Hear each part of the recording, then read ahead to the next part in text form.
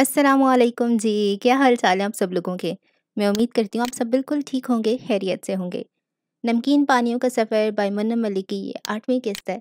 किस्त के स्टार्ट करने से पहले मेरी आपसे एक छोटी-सी रिक्वेस्ट है। नहीं, नहीं मैं चैनल सब्सक्राइब करने का नहीं करूँ कहूँगी क्योंकि मुझे पता है आप लोगों ने सब्सक्राइब किया है ऑलरेडी।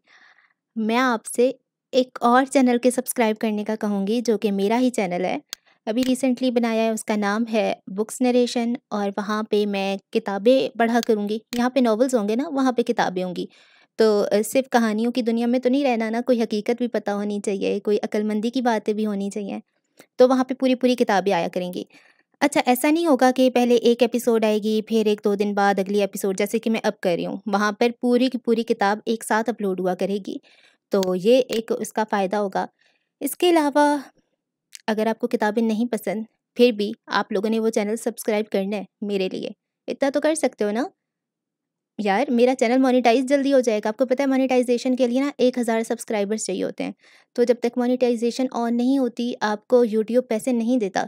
आप बेशक जितना मर्ज़ी कंटेंट डाल अगर आपकी मोनेटाइज़ेशन ऑन नहीं होगी, तो आपको चवन्नी भी नहीं मिलेगी। तो मेरा नहीं ख़्याल कि आप लोग इतने ज़ालिम हैं कि मेरी हेल्प ना करें। किताब भी सुननी है तो अच्छी बात है सुन लें, नहीं भी सुननी तो चैनल को सब्सक्राइब करना ही करना है आपने। वो मैं आपको आखिर में इस वीडियो के फिर दोबारा से याद दिलाऊँगी ठीक है? ठीक है ना? कर लोगे? नावल का आगाज़ करते हैं।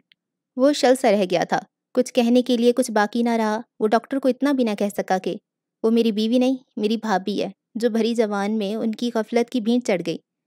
उसका ज़हन माऊफ़ हो रहा था, क्या इतनी सी देर लगती है मौत के हथियार को ज़िंदगी की डोर काटने में? औरतें ऐसी भी मर सकती हैं? अभी कल ही तो उस दाई के हाथों उसके बच्चे का जन्म हुआ था। ताजवर की हालत ख़राब थी, बच्चा भी इंतहाई कमज़ोर। दाई के दिल में खदशा जागा कि बच्चा शायद ना बचे कि वो था ही ऐसा, बेवज़न सा, मगर वो सही सलामत था।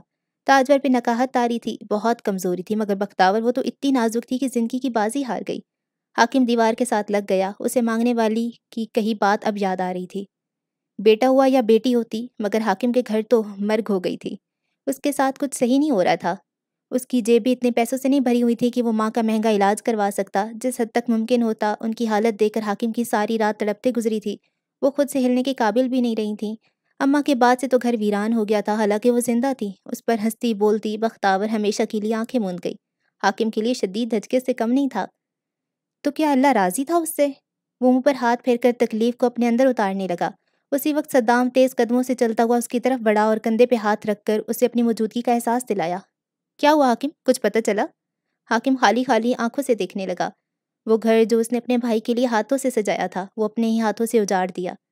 हाकिम न दिल से फ़ैसला लेता था, न दिमाग से, क्योंकि उसका कोई एक फ़ैसला भी ठीक नहीं होता था। बताओ हाकिम, ऐसे क्या देख रहे हो? मैं तुम्हारा गुनहगार हूँ सदाम मैंने अपनी कमअक्ली में तुम्हारा घर बर्बाद कर दिया। उसका लहजा ज़ख्मी हो रहा था, वो लम्हा हाथ नहीं आ रहा था, जो बिखर गया था। ऐसे क्यों बोल रहे हो? कुछ बताओ तो। सदाम को उलझन घेरने लगी। बख्तावर भाभी बख्तावर भाभी इस दुनिया में नहीं रही तुम्हें बेटा दे के खुद तन्हा रास्तों की मुसाफिर हो गई हैं, जो वापस को नहीं आते। हाकिम उसके कंधे से लग गया जबकि सद्दाम एक ही वक्त में सबा के मिलने और बख्तावर के अचानक बिछड़ने पे अजीब सी कैफियत का शिकार हो गया था।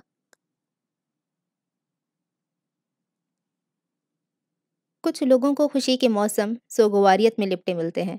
अपने सुखी दिनों की ताक़ुब में चलते-चलते मुट्ठी में बंद ज़ीज़ का मोती कब हाथों से फिसल जाता है, ला लाइल्म रहते हैं। शायद अच्छे लोग इसलिए भी दुनिया से मुँह मोड़ लेते हैं कि उनसे जुड़े रिश्ते उनके काबिल नहीं होते। ऐसे लोग सिर्फ़ मुँह दिखाने के लिए दुनिया में आते हैं, मगर बख्तावर तो ताजवर को अपने इश्क में मुब्तला करने आई थी। वो दोनों सब कुछ फ़रामोश करके अपनी ज़ात से जुड़ी खुशियों की तितलियाँ पकड़ने में मशगूल थीं, मगर उन तितलियों के पर धूप की हिद्दत में झुलस गए। बख्तावर अपने बच्चे को लेकर कितने ख्वाब से जा रही थी और वो ताजवर की झोली में डालकर चली गई। जिस बच्चे को उसने पालना था, उसके नन्हे-नन्हे हाथों को चूम कर उस मुशक्क़त पर मरहम रखना था, जो वो नौ माह से सींच-सींच कर सहती रही। जिसकी कलकारियों से उसकी रूह सैराब होनी थी, वो चुपचाप मिट्टी ओढ़ने चली गई। ताजवर को अपने वजूद का हिस्सा सौंप कर कितना यकीन था उसे ताजवर को जो इतनी गहरी नींद सो गई। दुख की एक तेज़ आंधी चली जिसने ताजवर को चारों ओर से लपेट लिया था। रात का अंधेरा उसकी बिनाई छीन कर ले गया। वो चारपाई से लगी पड़ी रही, कितनी ही देर, जैसे कमर टूट गई थी। उसका एक और रिश्ता उसे छिन गया था। अब्बा की मौत पे बख्तावर ने उसे संभाला था। बख्तावर की मौत पे बख्तावर उसे कैसे संभाल दी उसके अंदर से एक उबाल उठ रहा था और मुँह पे हाथ देकर चीखें रोकते-रोकते उसका पूरा बिस्तर हिलने लगा था। दुख का रेला था जो उसकी आँखों से बहता हुआ कानों और गर्दन से फिसलने लगा। मैंने तुमसे बहुत कहा था बख्तावर वो उठी और बाहर रखी मैयत को देखने लगी मैंने कहा था अपनी अम्मा के घर चली जाओ ताजवर के लिए तुम वहाँ जाने से इनकार करती रही और ताजवर तुम्हारे लिए कुछ न कर सकी एक तवील अरसे से पत्थर बनी ताजवर के अंदर बर्फ़ के तोदे पिघलने लगे थे और अंदर बाहर पानी पानी होने लगा था। जवान मौत ही बस्ती में कोहराम मच गया था। बख्तावर के भाई शिद्दत गम से होश में नहीं लगते थे और माँ को सबर नहीं आ रहा था। ताजवर ने देखा कि बख्तावर की मौत पे सदाम रो रहा है। लोग उसे तसल्ली दे रहे थे। दोनों की संगत में दिन ही कितने बीते थे। ताजवर को वो आँसू इंतहाई स्याह और आम आँसू से मुख्तलिफ़ लग रहे थे। जैसे दिल के रास्ते से निकलते हुए दिल की स्याही साथ घोल कर ला रहे हों। और मुख्तलिफ़ इतने के आरिज न भिगोते हों। वो सर झुकाकर उस लड़की के लिए रोने लगी जो न जाने कितनी बार ताजवर के लिए उन सबको नाराज़ करती आई थी। जो ताजवर की कुछ नहीं लगती थी, मगर ताजवर के लिए सब कुछ बन गई थी। अगली सुबह उसकी तदफीन का इंतज़ाम किया गया। घर में होलनाक सनाटे छा गए थे। खुले कमरे, कुशादा सहन भाई भाई करने लगे। कब्रिस्तान जैसी खामोशी उस घर में घुस आई थी। ऐसे में बख्तावर के बच्चे की मासूम सी आवाज़ गूंजने लगी। वो हलक फाड़ कर रो रहा था। शायद अब तक उसे ममता का लम्स महसूस नहीं हुआ था। ताजवर का दिल तड़प गया। उसने आगे बढ़कर अपनी बड़ी नन से उसे ले लिया। मैं तुम्हारी माँ हूँ, मेरे बच्चे। उसे सीने से लगाए, चुप कराने लगी। कितनी आँखें भर आई थीं, ताजवर का दिल भर रहा था। बख्तावर हमारा घर सोना कर गई है, ताजवर। नीलम ने सुर्ख आँखें रगड़ते हुए उसे मुखातिब किया। वो खुद एक मुश्किल ज़िंदगी गुजार रही थी, इसलिए उसे दूसरों का दुख समझ में आने लगा था। हम तो फिर भी सांस ले रहे हैं। ज़िंदगी तो इसकी ख़त्म हो गई है। काश के, वो कहते कहते लब भींच कर चूमने लगी। वो आँखें बंद किए से सक रहा था। क्या किस्मत बनाई है मेरे खुदा? मैं एक बच्चे के लिए तड़प रही हूँ और यहाँ एक बच्चा माँ के लिए। मेरे भाई के घर पहला बच्चा है, वरना मैं इसे ले लेती। नीलम अपनी ख्वाहिश का इजहार किया और ताजवर ने एक जख्मी निगाह उस पर डाली। मैंने अभी अभी कहा नीलम, कि मैं उसकी माँ हूँ। ताजवर अपने लफ्ज़ पे ज़ोर देकर बोली हाँ उसी पर तुम्हारा ही हक है। बख्तावर तुम्हें बहुत मोहब्बत करती थी। मैं किसी पे हक नहीं जताती, मैं सिर्फ़ फ़र्ज़ निभाती हूँ। मैं उसकी परवरिश फ़र्ज़ समझ कर करूँगी। अल्लाह पाक मुझे हिम्मत दे कि मैं दोनों बच्चों के साथ बराबरी का सलूक कर सकूँ। वो उसे बाहों में उठाए उठाए छोटे छोटे कदम उठाती झूला झुला रही थी। मेरे भाई ने भला क्या सुख देखा, कितनी धूमधाम से शादी हुई थी, न जाने किसकी नज़र लग गई। उन्हें शायद सुख की चाह कभी अपने घर से रही नहीं। बख्तावर की हालत का सोचकर ताजवर के दुखी दिल से यह बात निकली, नीलम उसका मफहूम समझकर चुप न रह सकी। तुम्हें हमसे बहुत शिकायतें हैं ताजवर, मगर मेरे भाई जालिम नहीं है। तुम चंद दिन मेरे घर रहकर देखो। मेरी सास से लेकर मेरी नंदे तक मेरी शिकायतें करती हैं और मेरे शोहर को औलाद न होने पे ताने देकर दूसरी शादी पे उकसाती हैं। कम अज़ कम मेरे भाई जो भी करते हैं, उनकी बीवियों को सौकन जैसी तलवार पे नंगे पाँव नहीं चलना पड़ता कि न जाने कब उनका शोहर बहनों के आगे घुटने टेकते। बात जानती हो क्या है नीलम? ताजवर बच्चे के जाग जाने के डर से मध्यम आवाज़ में बोल रही थी। कोई तुम्हारी नंदों से जाकर कहे कि उनके भाई तुम पे क्यों जुल्म करता है? तो वो तुमसे क्यों नॉर्वा सलूक रखती हैं? तो यकीन करो, उनका भी यही जवाब होगा कि उनके भाई फरिश्तों जैसे मासूम हैं और सिर्फ़ उनकी बीवी डाइन है। दरअसल बहनों की मोहब्बत होती है और यकीन करो, तुम भी उसी मोहब्बत में मुबतला हो। तुम वही नीलम हो जिसने अपने भाई का मुझ पर उठता हाथ कभी नहीं रोका था, बल्कि उन्हें हक बजानिब समझती थी तुम। इसी तरह वो भी अपने भाई से हमदर्दी रखती हैं, तुमसे नहीं। जब तक आप उस मकाम पे ना खड़े हों जहाँ पे कभी दूसरा मौजूद होता है, तब तक कुछ नज़र नहीं आता। तुम्हें शायद ये फ़र्क जल्द नज़र आ जाए। ताजवर तुम, नहीं नीलम, ताजवर ने बात काट दी। तुम्हें मेरी बात पे यकीन नहीं आएगा, मगर मेरा खुदा गवाह है, मैं तुम पे तंज नहीं करती। मैं तुम्हें जताने की कोशिश करती हूँ कि ये हर जगह यही होता है। उसे संभालने की कोशिश करो और अल्लाह से मदद मांगो। मुझे ये मत कहा करो कि मुझे किसी से शिकायतें हैं, किसी से भी नहीं, मगर मैं ज़रूर सोचा करती हूँ, नीलम और ताजवर सगी चचाजाद बहनी हुआ करती थीं।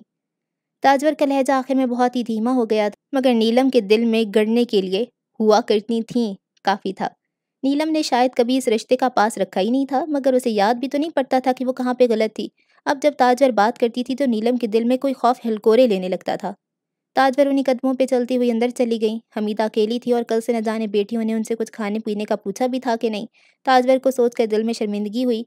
वो भी बख्तावर की मौत पे हर चीज़ से गायब होल हो गई थी। यहाँ तक कि उसका बच्चा भी साथ वालों की लड़की संभाल रही थी। अम्मा देखे कौन आया है? ताजवर ने हल्का से झुककर उनसे मुस्करा कर पूछा, हमीदा बोल नहीं सकती थी, मगर टूटे फूटे अल्फाज अब समझ में आ जाते थे। ताजवर जब से उनकी खिदमत कर रही थी, वो उन्हें अम्मा बुलाती थी। आपकी प्यारी बहू तो हमें छोड़कर चली गई, मगर ये देखिए आपका पोता मिलने आया है। ताजवर ने बाजू ऊँचा करके सोई हुई बच्चे की प्यारी सी सूरत उन्हें दिखाई तो उनकी आँखों से एक झुरना सरवा हो गया। वो हिचकियाँ लेते हुए उसे चूमने के लिए हमकने लगी। ताजवर ने सर पे हाथ रखा और बाल सहलाए। आप बीमार ना होती तो मिलकर हम दोनों बच्चे संभाल दे। बख्तावर को देखे। मुझसे ज़्यादा बाहिम्मत थी, मगर ये ज़िम्मेदारी मुझे सौंप गई। अल्लाह हमारी प्यारी बख्तावर को जन्नत के बाग दिखाए। ताजवर ने चुपके से आँखें साफ़ कर ली, मगर हमीदा कुछ कहने के लिए कोशिश में झटके खा रही थी। हा हा ने अच्छा नी। वो हकला हकला कर टूटे फूटे लफ्ज अदा करने लगी। ताजवर ने दुख से आँखें फेर ली। वो समझ रही थी कि हाकिम ने अच्छा नहीं किया, जो उसे बर वक्त अस्पताल नहीं ले गया और दाई पे भरोसा करता रहा। अच्छा आप मत रोएँ। इनशाला आप बहुत जल्दी अच्छी हो जाएँगी। सब ठीक हो जाएगा, फिर इसे खूब प्यार कीजिएगा। पख्तावर की निशानी तो है हमारे पास। मैं इसके लिए गाय का दूध मंगवाती हूँ हाकिम से। उठेगा तो रोएगा। आप क्या खाएँगी? ताजवर के पूछने पर वो नफ़ी में सर हिलाकर सख्ती से आँखें बंद कर गईं। ताजवर ने चुपके से उनके आँसू और राल कपड़े से साफ़ किए और अपने कमरे में आ गई। लोग ताज़ियत के लिए आ रहे थे। नीलम और आपा उनसे मिल रही थीं। ताजवर बच्चों के साथ घर के काम देख रही थी। उसकी अपनी जैसी भी हालत थी, मगर वो उन्हें काम करने का कभी नहीं कहती थी। तीसरे दिन जब ताजवर बच्चों को नीम गर्म पानी से नहला रही थी तो नीलम उसके पास आई।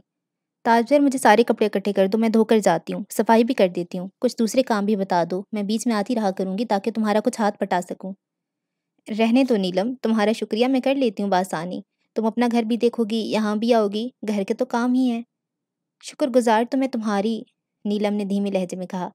तुम अम्मा की कितनी खिदमत करती हो? ऐसे वक्त में जब अपने भी साथ छोड़ देते हैं, तुम बगैर माथे पे शिकन लिए उनके खाने, पीने, नहलाने और कपड़े बदलने तक हर चीज़ का ख्याल रखती हो। इसका जर तुम्हें अल्लाह ही दे सकता है। वो नीचे ज़मीन को घूर रही थी, गोया ताजवर की आँखों में देखने से कुतरा रही थी। ताजवर मुस्करा दी, ये भी मेरा फ़र्ज़ है। हमारे भी कुछ फ़राइज़ थे। नीलम बेसाख्ता बोली थी, उसे किस वक्त पे अपने फ़राइज़ याद आ रहे थे, जब फ़र्ज़ की कज़ा अदा करना भी ज़रूरी न रहा था। ताजवर खामोशी से अपना काम करती रही, सिर्फ़ एक लम्हे को हाथ रुके थे। ताजवर मुझे ये कहने दो कि हम चच्चाजाद बहनें हुआ करती हैं। वो इसके पास बैठ गई और थी को है में बदल दिया। ताजवर ने अपना सांस रोक लिया और उसे देखने लगी। वो इस बात को महसूस करना चाहती थी कि तवील अरसा पथरीले लहजों को सह के क्या वो अब भी मोम हो सकती है? दिन की रोशनी में अस्पताल में खास रश का सामान था। बहुत से लोग आ जा रहे थे। मरीजों से लेकर उनके मुलाकाती और अस्पताल का स्टाफ तक। सदाम के मुतहरिक पाँव जैसे उस रास्ते से मुकम्मल तौर पे आशना थे, उसे लग रहा था अगर वो आँखें ना देख पाता, तब भी ये पैर बेख्तियार अंदाजी में चलते हुए उसे वहाँ ले जाते जो उसकी मंजिल थी। आसपास से लोगों की मुख्तलिफ़ आवाज़ें समातों में पड़ रही थी, वो उनसे यकसर बेनियाज, राहदारी अबूर करता उसी वार्ड में आ गया जहाँ वो मौजूद थी। दरवाजे से अंदर आती उसे वो नज़र आई, उसी हालत में आँखें मूंदे और निढाल सी, वो यकीन से नहीं कह सकता था कि ये अपनी आँखें खोलती भी थी या नहीं। और क्या अब भी उसकी पलकों के पीछे वही साहिर आँखें थी, जो पूरा पूरा का इंसान खींच लेती थी। वो आहिस्ता से चलता हुआ उसके करीब गया और शुक्र अदा किया। इतने दिनों में वो बेतहाशा दुआएँ माँगता रहा था कि वो वहाँ से कहीं ना गई हो। अब शायद उसकी दुआओं की कबूलियत का वक्त शुरू हो चुका था। वो होले से उसके ऊपर झुका और धीरे से पुकारा, सब, सबा? आँखों की पुतलियों के पीछे हलचल सी महसूस हुई थी, जैसे कोई बेयकीन हो के उसी को पुकारा गया हो। सदाम ने उसकी पेशानी पे हाथ रखा और मध्यम लहजे में उसे मुखातिब किया। आँखें खोलो सबा, तुमसे मिलने आया हूँ। अब की बार उसने बेचैनी से आँखें खोल दी थीं, कुछ लम्हे लगे उसकी आँखों से रोशनी से और सद्दाम के चेहरे से मानूस होने में, और फिर वो आँखें हैरत की हद तक फैल गईं। तुम? उसने थूक निकलकर हलक को तर करते हुए कहा था। चंद लम्हे लगे थे उसे पहचानने में। हाँ सबा, मैं हूँ। ये तुमने अपनी क्या हालत बना रखी है? मैं सोच भी नहीं सकता था कि तुम्हें इस हाल में देखूँगा। उसे पोजीशन में उसके ऊपर चुके तासुब से पूछ रहा था, सबा की आँखों की बेयकीनी नहीं जाती थी। मैं याद थी तुम्हें, तुम तुम कैसे पहुँचे मुझ तक? वो लफ्ज़ तोड़ तोड़ कर पूछने लगी सदाम मुस्कुराने लगा। मैं भी तो तुम्हें याद हूँ, मैं तुम्हें कैसे भूल सकता हूँ? तुम्हारा नाम क्या था?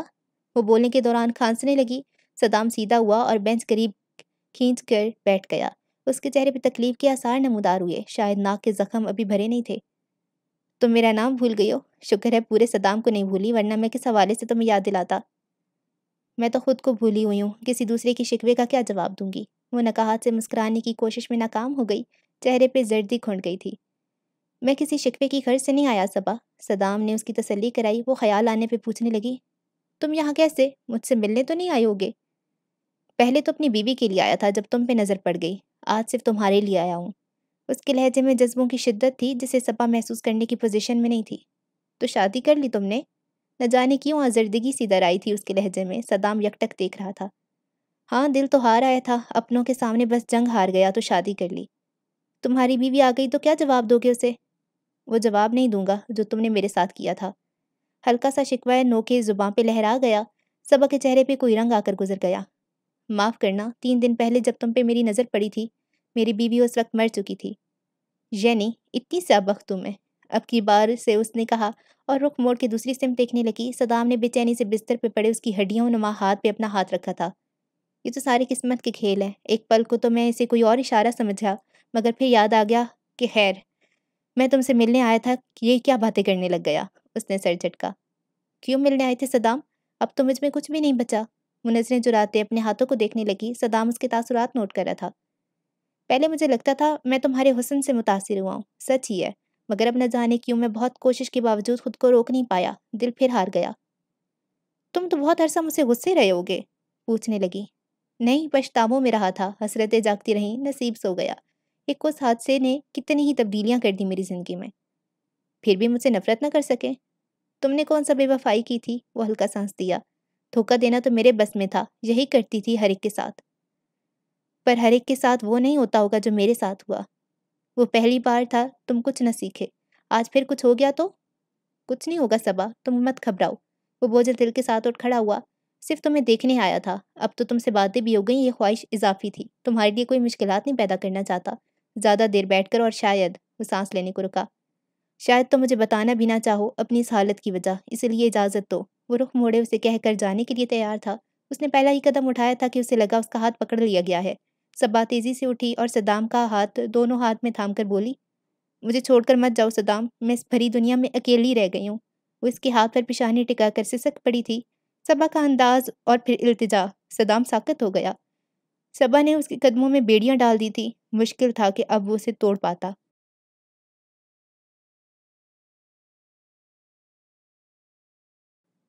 शुमाइला ड्रेसिंग टेबल के सामने खड़ी हल्की सी लिपस्टिक लगा रही थी। वो घर वाली हुलिये से थोड़ा सा हटकर तैयार थी। शमरेज उसके कमरे के खुले दरवाजे में आकर खड़ा हो गया। ड्रेसिंग टेबल के आईने में उसके अक्स झिलमिलाने लगा था। शुमाइला ने आईने में से उसे देखा। हाँ भाई, क्या सीन है? शमरेज ने उससे पूछा तो शमाइला कानों में टॉप्स डालने लगी। सीन ऑन है। तुम बताओ। मसरूफ सा अंदाज था। वो तो मैं देख रहा हूँ। ये बताओ, तुम्हें किस बात की खुशी है? सिमी के निकाह में नहीं जा रही तुम? वो इसकी तैयारी देखकर हंसने लगा। शुमाइला ने मसनू तेवरियाँ चढ़ाकर आईने में अपना तनकीदी जायजा लिया। मुतमिन हो गई। तुम्हें क्या मालूम लड़कियों के बारे में? और बात तो है खुशी की। निकाह में तो अभी तुम देखना मुझे। मुस्कुराहट दबाते हुए बाल समेटने लगी शमरेज मुद्दे पे आया। सिमी घर भी नहीं आ रही अभी से। आजकल कैसे आ सकती है? ये तो रिवाज है। तारीख रख दी जाए तो फिर आएगी अपनी शादी के दिनों से पहले तक। अभी तो वो खुद शर्माई फिर रही होगी। दोनों हल्का सा हंसने लगे। लेकिन सानिया तो आ सकती है। हाँ आ तो सकती है। वो सरसरी सा जवाब देकर दुपट्टा झाड़ने लगी। शमरेज को बेचैनी हो रही थी। तो आ क्यों नहीं रही? वो बेसाख्ता बोला फिर अपनी बेताबी महसूस करके सटपटाया। मेरा मतलब है काफ़ी दिनों से नहीं आ रही, चंद एक बार सिमी भी अकेली आई। सब खैरियत तो है ना? शुमाइला अपनी धुन में मगन थी शमरेज के लहजे का गैर मामूली पर नोट न कर सकी। मसला क्या होगा भाई? घर में काम होंगे, उसी में मसरूफ होगी वरना सिमी मुझे बताती। सिमी ने तुम्हें और तो कुछ नहीं बताया। उसके गहरे लहजे में खोजते हुए दरियाफ्त किया, शुमाइला आपकी बार चौंक गई। शमरेज के जहन में ये सोच लिखी जा रही थी कि सानिया ने कहीं सिमी को ना कुछ बताया हो, जिसका ज़िक्र वो शुमाइला से ज़रूर करती। सिमी मुझे क्या बताती शमरेज वो अब बाकायदा मुड़कर सवालिया नज़रों से देखने लगी, शमरेज संभल कर बोला, कुछ भी, यूँ ही पूछ रहा हूँ, सानिया की स्टडीज़ वगैरह के बारे में? उसके जहन में बात आ गई, जबकि हकीकत तो ये थी कि इतने दिनों में सानिया को ना देकर उसकी बेकरारी उरूज को छू रही थी। ऐसा कुछ काबिल ज़िक्र तो नहीं बताया, मगर मुजफ्फर भाई ने बात की, अंकल से, इंशाल्लाह कोई रास्ता निकल आएगा। वो कहकर बेड की तरफ़ गई और अपना मोबाइल उठाया। अच्छा चलो तो मैं छोड़ कर आता हूँ, बाबा तो वहीं गए होंगे ना? बाइक पे चलना है रोड से? शमरेज पूछने लगा। नहीं, हवेली की बैक साइड से चलते हैं, पगडंडी से। वॉक भी हो जाएगी। वो मोबाइल पे नज़रें जमाई बोली तो शमरेज ने सर हिलाया। आ जाओ, मैं बाहर वेट कर रहा हूँ। वो जेबों में हाथ डालकर चुईंगम चबाता हुआ चला गया तो शमाइला की उंगलियाँ तेज तेज टाइप करने लगी। मैं सिमी के घर जा रही हूँ। आज उसकी डेट फाइनल होनी है। दुआई खैर। मैसेज सेंड करके वो इतमान से बाहर निकल आई। राहदारी के सिरे पे उसे नुजरत आती दिखाई दी। वो रुक कर उनसे इजाज़त लेने लगी। अच्छा मी, मैं जा रही हूँ शमरेज के साथ। आप भी चलती तो खाला को अच्छा लगता। वो पहले भी ये बात कह चुकी थी नुजरत ने नापसंदीदगी से उसे देखा। शुमाइला, मुझे कभी कभी तुम्हारी सोच पे हैरत होती है। एक तरफ़ तुम छोटी सी छोटी चीज़ का भी बहुत ख्याल रखती हो, वहीं दूसरी तरफ़ तुम्हारी अकल कहाँ घास चढ़ने चली जाती है? ये जो खालिश उनकी फैमिली की तकरीब है तो पूरा घर मुँह उठाकर वहाँ ले जाना चाहती हो? क्या ये वाकई बहुत ज़रूरी है? अम्मी, मैं आपकी बात समझती हूँ, मगर ऐसे मौक़ों पर ज़रूरी होता है ना। वो बेचारगी से उन्हें समझाने लगी, जो बात उन्हें समझनी नहीं थी। हाँ तुम्हारा बाप तो वहाँ पहले से मौजूद है, तुम भी जा रही हो, बस मेरी कसर बाकी है। वो बड़बड़ाने लगी कि शुमाइला ने तो उनकी बात सुननी नहीं थी। शुमाइला मुस्कुरा उठी। घर की बात है अम्मी, कोई गैर थोड़ी है। घर की बात नहीं है। उन्होंने सख्ती से शुमाइला की बात रोकी थी। शुमाइला संजीदगी से उन्हें देखने लगी। अच्छा ठीक है, मुझे देर हो रही है, सिमी इंतज़ार कर रही होगी। जाओ, मैं कौन होती हूँ रोकने वाली? और ये तुम्हें इतना बंद संवर कर जानने की क्या ज़रूरत थी? जानती हो तुम एक गैर शादीशुदा लड़की हो? शुमाइला माँ के मुँह से पहली बार ऐसी रवायती बात सुनकर हक्का बक्का रह गई। वो पहले तो ऐसी कभी बात नहीं टोकती थी। न जाने गुजश्ता कुछ दिनों से क्या हुआ था, वो इस कदर झंझलाई हुई थी। अम्मी शुमाइला ने नरमी से उनके हाथ थामे। कोई बात परेशान करी आपको? प्लीज़ मुझसे शेयर करें। वो मुल्तजाना अंदाज में पूछने लगी, जिससे नुदरत को नज़रें चुरानी पड़ी थी। क्या समझाती वो शुमाइला को कि उसकी ये मोहब्बत शमरेज़ को भी उन बहनों के कितने करीब ले गई थी? शुमाइला की मोहब्बत तो बेरिया थी, मगर वो दोनों चलाक बहनें, हवेली के मालिक बनने के ख्वाब देखने लगी हैं। उन्हें किसी तरह बेटे को उनके चुंगल से बचाना था। सख्ती करती तो शमरेज़ बगावत पे उतर आता शमरेज़ उनका इकलौता बेटा कोई बात नहीं है। मैं तो इसलिए कह रही थी कि बस्ती की औरतें देखकर बातें बनाती हैं। वो कमज़ोर लहजम बोली। बस्ती की औरतें कोई तनकीद नहीं करती बल्कि उनकी आँखों में तो सताइश होती है। इतनी छोटी सी फिक्रें पालकर क्यों थकाती हैं खुद को? वो इनकी तसली कराती, प्यार करती, आगे बढ़ गई, क्योंकि शमरेज उसे आवाज़ें दे रहा था। शमाइला चली गई तो नुजरत उसे दूर जाता देखती रहीं। वो अपने बेटे का दिल भी बचाना चाहती थी और अपने ख़ानदान की रिवायत भी। सूरज शाम के दामन से अपनी नारंगी शुआएँ छुड़ा रहा था और दीवारों की मुंडेरों से गुलाबी सी धूप नीचे बहती जा रही थी। ऊँचे दरख्तों की चोटियों पर सुनहरी पन चमक रहा था। यह असर का वक्त था और गाँव में ये वक्त ठंडा होता था। रिवायत के मुताबिक बस्ती के बुज़ुर्गों और अपने अजीज़ों को बुलाकर मर्दाने में मोइन की दुआएँ खैर होनी थी और सलाह मशवरे से तारीख पकी उनके लिए खाने का अहतमाम भी था। असर की नमाज़ के बाद का वक्त मुकर था। घर में भी औरतों का मुबारकबाद के लिए तांता बन जाता। सिमी अपने गीले हाथ पूछती कमरे में आई तो सानिया कमरे का हुलिया दुरुस्त कर चुकी थी। चारपाइयों पे रंगीन चटाइयाँ बिछाकर नई धुली धुलाई चादरें बिछाई गई थी। सिमी ने पूरा सहन साफ़ किया था। माँ चूल्हे पे बैठी थी। सानिया उसे देखकर बोल पड़ी, तुम तो एक जगह टिक कर बैठ जाओ। मैं काम कर रही हूँ ना? मेरे हाथों पे कौन सा मेहंदी लगी है? तुम ज़रा जाकर अम्मा का हाथ बटाओ। कब से आ का काम देख रही हैं? सिमी ने उसे हिदायत की तो सानिया शरारती अंदाज में गोया हुई, हाथों पे मेहंदी भी लग जाएगी। इतनी जल्दबाजी अच्छी नहीं होती। बकवास मत करो सिमी ने आँखें दिखाई। काम से बचने के लिए कितनी फजूल बातों में लगा देती हो, वो झाड़ने लगी। सानिया ने बुरा मानती हुई शिकायत की। सुबह से सारे काम मैं कर रही हूँ, बल्कि अब तो वालद साहिबा ने बाकायदा काम तकसीम कर दिए अब तुम खजालत से बचने के लिए टोक रही हो तो बात और है। सानिया से पहलू बजाना आसान काम नहीं था, सिमी के लबों पे मुस्कुराहट आ गई। जाओ मेरी माँ, बख्श दो। अभी कुछ देर में अब्बा खाने का कहने आ जाएँगे। हाँ ठीक है। मुझे ये बात समझ नहीं आती कि ताई मोहतरमा के ज़िम्मे कोई काम नहीं है। बेटे की माओ के तो कितने फ़राइज़ होते हैं। हमेशा पहलोती करके खुद बनने संवरने में लग जाती हैं।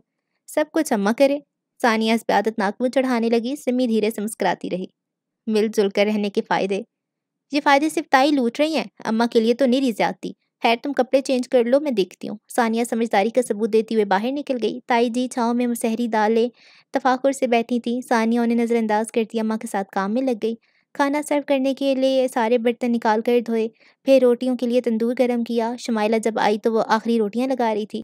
सानिया की रंगत सुर्ख हो रही है, लगता खूब काम लिया जा रहा है। अम्मा से मिलते हुए वो सानिया को देखकर बोली तो सानिया ने हल्की से मुस्कुराहट लौटाई थी। आग की हिद्दत से, वरना काम तो खास नहीं है। मैं कुछ मदद कर दूँ? शुमाइला ने ऑफ़र की। नहीं, आप सिमी के पास बैठे आपको ये कहाँ आएगा? उसने वहीं से जवाब दिया शुमाइला को तंदूर पे रोटियाँ लगाने की आदत तो नहीं थी? वो सर हिलाती हुई अंदर चली गई। सिमी उसकी आवाज़ सुनकर उसी की मंतजर थी। आ गई तुम मुझे लग रहा है भी याद दहानी के लिए मुझे ही तुम्हें लेने आना पड़ेगा। तो मैं अब कुछ याद कहाँ रहता है? वाह, ये कैसी गैरों जैसी बात करी हो। सिमी को शुमाइला भूल जाए, नामुमकिन। वो हंस के एक अदा से बोली, सिमी बिल्कुल मुतासर ना हुई। सब कुछ मुमकिन है, स्पेशली जब से कुछ नए लोग ज़िंदगी में शामिल हुए हैं। वो छेड़ने लगी, शुमाइला खिलकर हँसी थी। नए पुराने सभी चेहरों में हमेशा पहले नंबर पर तुम आती हो। चाहे दूसरा नंबर सही, अहमियत तो बहरहाल आ गई है ना? उसका लहजा कुछ जताता हुआ था। खैर, मैं परसों शहर जाऊँगी तो तुम्हारे लिए खूबसूरत गोल्ड का सेट लेकर आऊँगी। डिज़ाइन तो मैं सेलेक्ट कर चुकी हूँ। उसने सिमी को आगाह किया तो वो संजीदा हो गई। नहीं, शुमाइला, इसकी ज़रूरत नहीं है। तुम्हें भी फॉर्मल होने की ज़रूरत नहीं है मेरे साथ वो डपट कर बोली। मेरा बस चले तो तुम्हारा ब्राइडल ड्रेस भी मैं लेकर आऊँ, मगर तुम्हारे घर वाले इस पर राज़ी नहीं होंगे, सो कम अज़ कम मुझे वो तो करने दो जो मैं कर सकती हूँ। शुमाइला ने उसकी थोड़ी को छुआ था। ये कौन सी बड़ी बात है? सब कुछ तुम ही करोगी। अगर तुम खुद खरीद नहीं सकती, मगर अपनी पसंद से तो ज़रूर ला सकती हो। शादी की शॉपिंग के लिए तुम ही साथ जाना। सिमी ने उसे राह दिखाई तो उसका चेहरा खिल उठा। ओ यस, ये तो मैं ज़रूर करूँगी। शुमाइला और शमरेज हर वक्त हाजिर शुमाइला ने हाथ हिलाकर दिल पे रखा तो वो हंसती दबाते हुए उठने लगी। मैं चाय बना कर लाती हूँ, बाकी बातें बाद में। नहीं, तुम बैठो, मैं चाय पी कर आ रही हूँ। अच्छा फिर कुछ और लेकर आती हूँ। दो मिनट। बैठो यार, मुझे कुछ ज़रूरत हुई तो मैं खुद से कह दूँगी। सूट अच्छा लग रहा है तुम पे। शुक्र है तुम तैयार नहीं हुई, मुझे लगा मैं लेट हो गई हूँ। वो अपने खुशबू में बसे वजूद समेत थप से उसके करीब बैठ गई सिमी ने उसे देखा। तैयार, मैंने क्यों होना है? शुमाइला की बात पे वो कुछ हैरान हैरान सी हो गई। ओहो भाई, मेहमानों ने तो आना होगा, होने वाली दुल्हन को स्पेशल नज़र आना चाहिए ना? लाइट सा मेकअप करती हूँ तुम्हारा। वो कहकर अपना पर्स खोलने लगी। यकीनन वो मेकअप की कुछ चीज़ें साथ ले आई थी, सिमी देखकर बदिक गई। नहीं नहीं, हरगिज़ नहीं, मुझे बहुत शर्म आएगी शुमाइला इसकी कतई ज़रूरत नहीं। तुम्हें नहीं पता?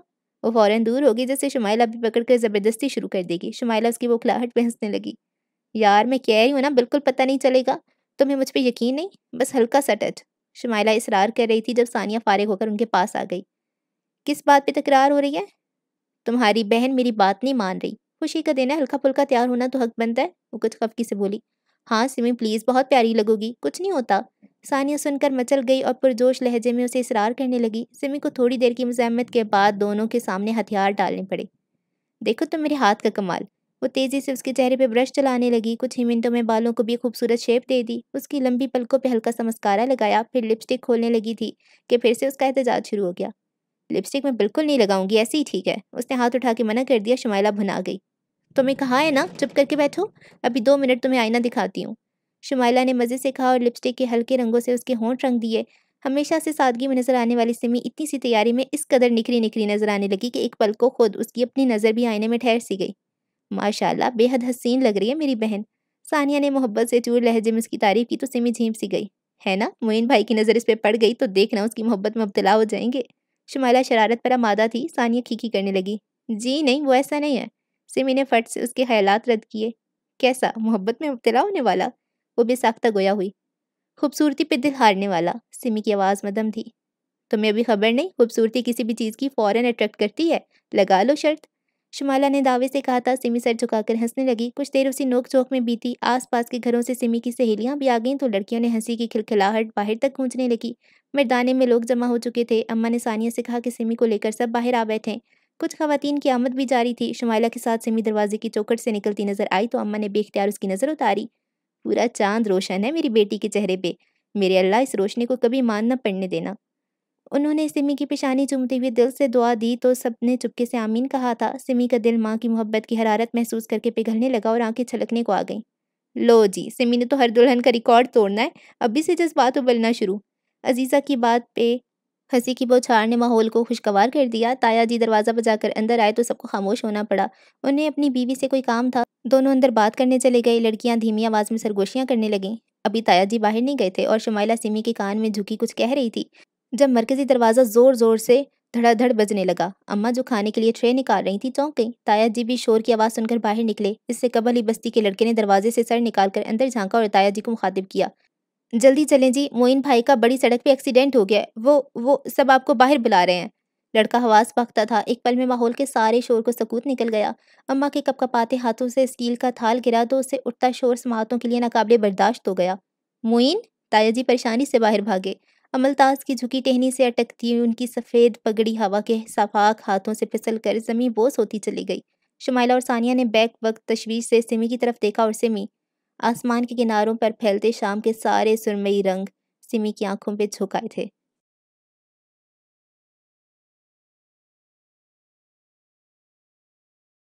मैं जब पैदा हुई तो इतनी सुंदर थी कि माँ मुझे सजाने संवारने से खौफ खाती थी।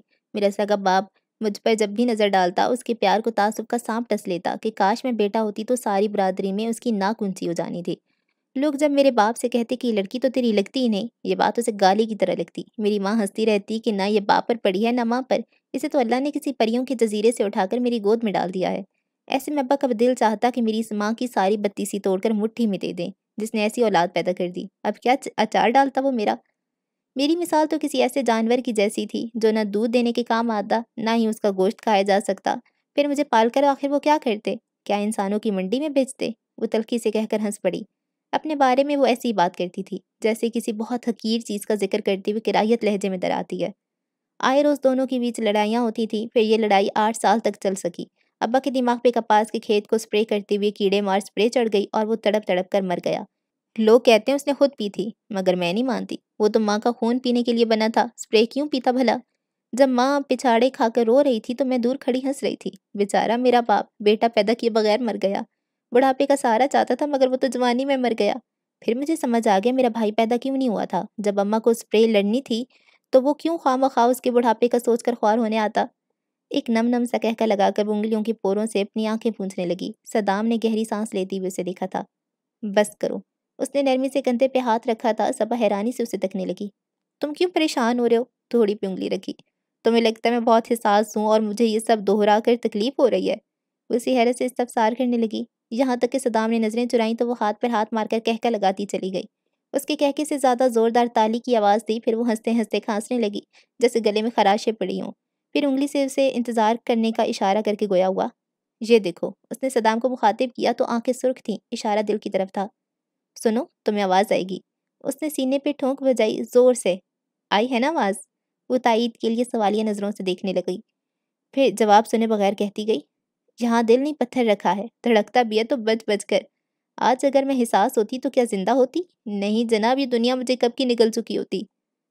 मगर मोहब्बत पत्थर दिल तो नहीं करते, सदाम ने बहुत वक्त बाद पूछा। सबा चौंक गई।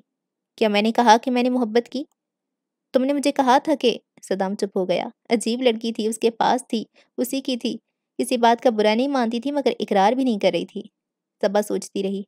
ओह अच्छा वो, उसे एकदम याद आ गया। साथ में हँसी भी उसी तरफ़ तो मैं जा रही थी, बीच में तुमने टोक दिया। ये फैसला तो तुम करोगे कि वो मोहब्बत थी। क्या थी? सुना है, मोहब्बत तो कहीं चैन नहीं लेने देती। मोहब्बत की अमृत में हिजर घुल जाए तो इसका रंग निखर जाता है। फिर ये मोहब्बत की कौन सी किस्म थी? यहाँ मैं ज़िंदा हूँ, वहाँ तुम शादीशुदा। वो थोड़ी भी हथेली टिकाए, दिलचस्पी से भरपूर अंदाज में पूछ रही थी। सदाम दुम सादे उसे देखता रहा। अगर वो सच्ची थी तो फिर सदाम का दिल किया था? माँ जो रो रो कर जमी आसमान एक कर रही थी। उसने शौहर के कफन का मैला होना भी इंतज़ार न किया और अपने लिए दूसरा घर ढूंढ लिया। जायरा एक बच्ची की माँ तो जवान ही होती है। ऊपर से बेवा इद्दत मुश्किल से काटी थी कि वो इश्क में मुबतला हो गई।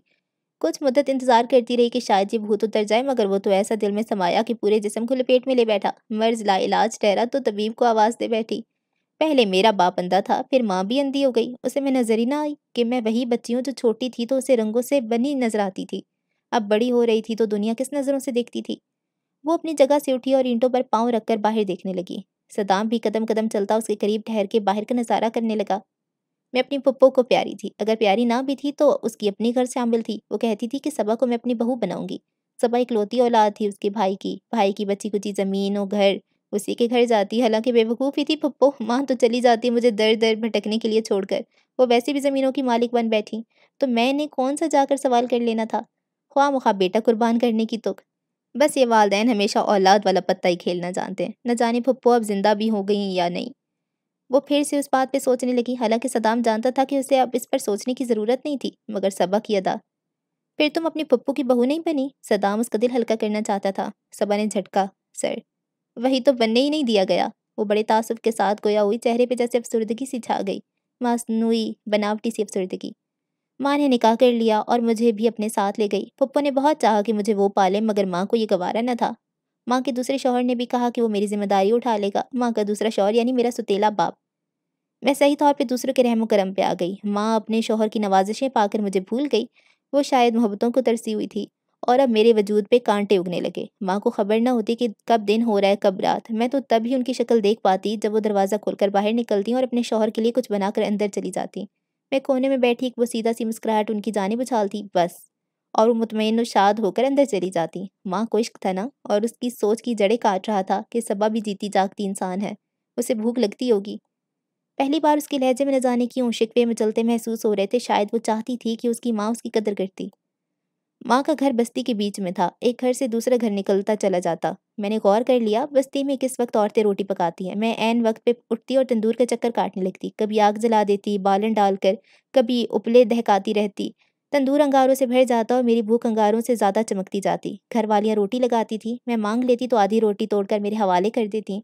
गर्म गर्म तंदूर की रोटी, खुशबूदार और फूली फूली मैं बगैर सालन के चुबाती जाती, मगर किसी जायकेदार गजा से कम न लगा करती। फिर एक तंदूर से दूसरे तंदूर घूम फिर कर मेरा पेट भरने लगा।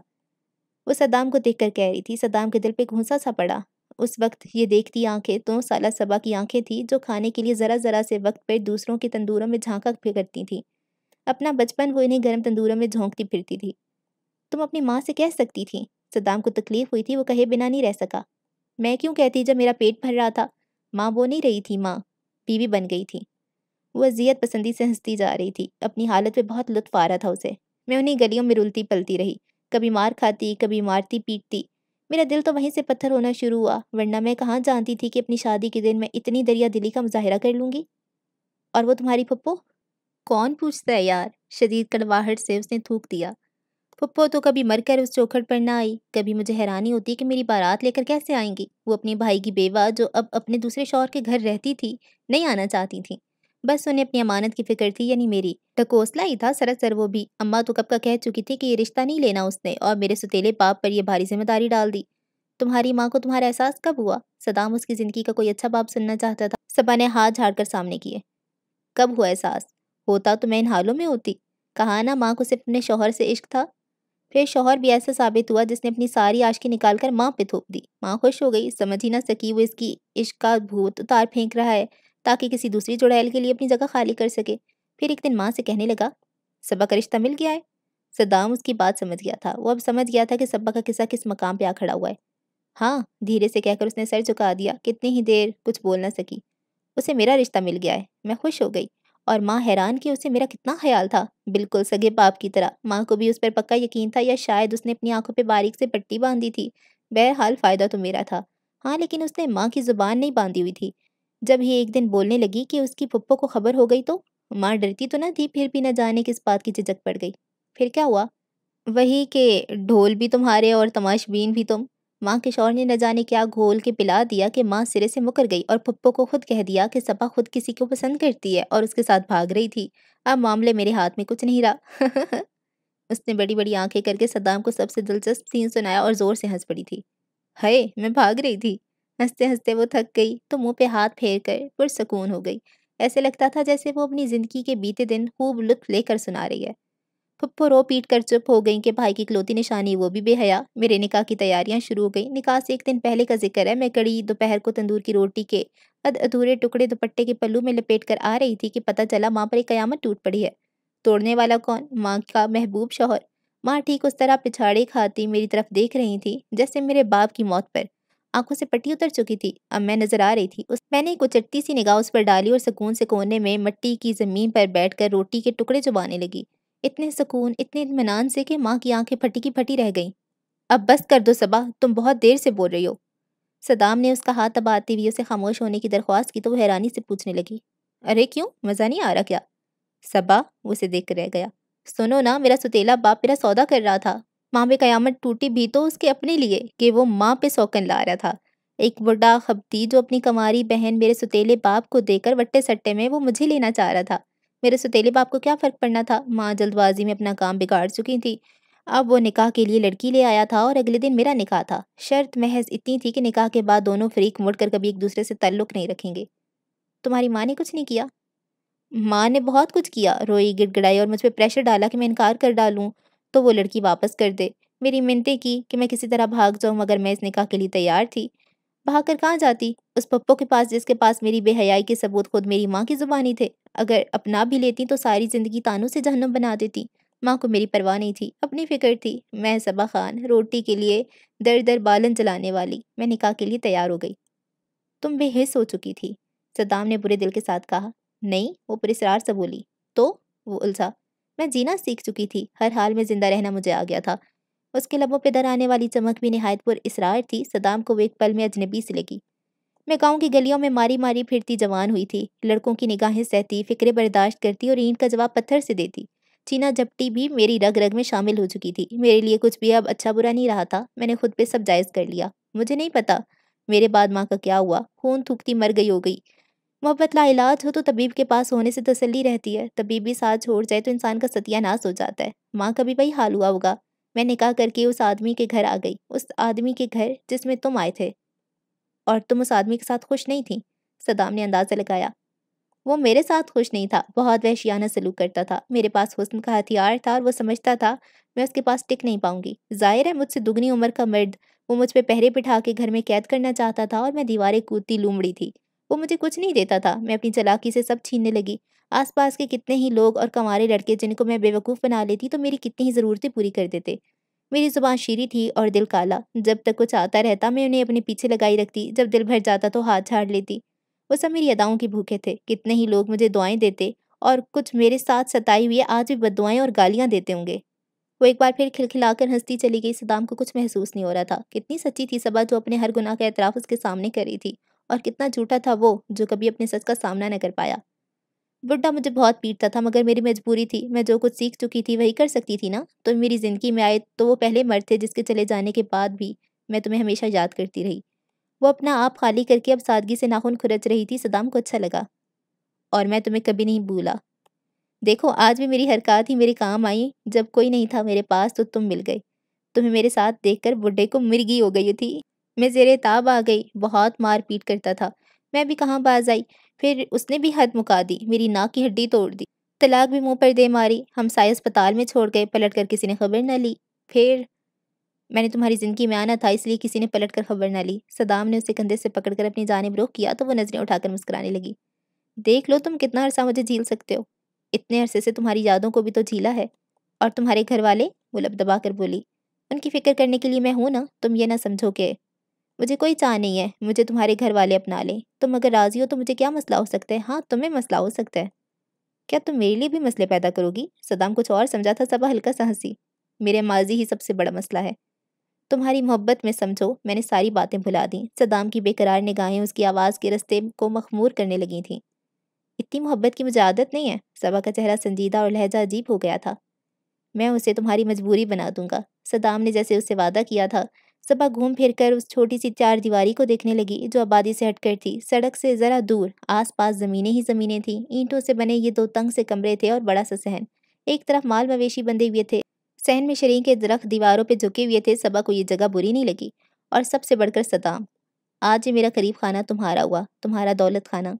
ये मत समझना कि अपनी दास्तान सुनाकर मैं कोई मजलूम बन गई हूँ। मैं अब भी वही सबा हूँ जो पहले थी। सबा ने उसे वार्न किया सदाम हंसा। सर आँखों पर, जज्बात से लहजा बोझल। तुम अभी तक बहुत दिलचस्प बातें करते हो। सबा पूरे दिल से मुस्कुराई थी, शायद ये फैसला उसने पूरे दिल से लिया था। आपके सामने मौजूद इंसान मनपसंद हो तो बातें खुद ब खुद दिलचस्पी से भरपूर हो जाती हैं। सदाम ने आगे बढ़कर सबा को थामा और उसे गले लगा लिया। वो पहले से बहुत बुरी हालत में थी। वक्त के सितम ने उसका हुसन वहना दिया था, मगर सदाम को यकीन था खुशी की बरसात उस पर लगा सारा जंग उतार देगी और वो वही सबब बन जाएगी जिस पे सदाम ने पहली नज़र में अपना दिल हार दिया था। सदाम के साथ लगी सबा गहरे गहरे सांस ले रही थी। सदाम खुशी की बेपाया एहसास के साथ हाँप रहा था। पूरे माहौल पे सकूत जारी था। आसपास मुकम्मल खामोशी।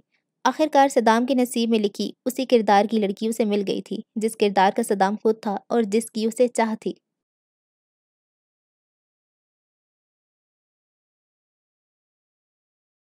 आँगन में बच्चों की किलकारियाँ गूंज रही थीं। हवा के झोंकों में सुबह की ताजगी थी। मौसम बदल गया था और रात में ठंड पड़ जाती थी। रात भर की ओस यही हवाएँ चुरा लेती और सुबह को हसीन बनाती। ताजवर हमीदा के पास बैठी, कलाम पाक ऊँची आवाज़ में पढ़ रही थी। ये उसकी हर सुबह का मामूल था। नमाज़ पढ़ के वो हमीदा के पास बैठकर तिलावत करती रहती थी और हमीदा सुनती रहती। उसकी हालत बहुत बुरी थी। ताजवर उनकी आसानियों के लिए दुआ करती। अभी भी बच्चों की रोने की हल्की सी आवाज़ आई तो उसने आज की तिलावत ख़त्म की और कुरान पाक के गिर्द खिलाफ लपेट कर दुआ मांगने के लिए हाथ उठाए। बाहर हाकिम जानवरों का दूध लेकर अंदर आया तो बाल्टी ढांप कर बच्चों की तरफ़ बढ़ गया। खुले दरवाजे से ताजवर उसे माँ के पास बैठी नज़र आ गई थी। मिलना है। ताजवर उठने लगी थी कि हमीदा अपनी ज़ुबान में उसे बात समझाने की कोशिश करने लगी। ताजवर ने बेचारगी से उसे देखा और झुककर पूछने लगी, सदाम लाला की याद आ रही है आपको? जवाब में वो ज़ोर ज़ोर से सर हिलाने लगी। दिन में वो कितनी बार सदाम को याद करती थी। हाकिम तो रोज़ रात को माँ के पैर दबाता, उससे बातें करता, मगर सदाम ने पलट कर कोई खबर ही नहीं ली थी।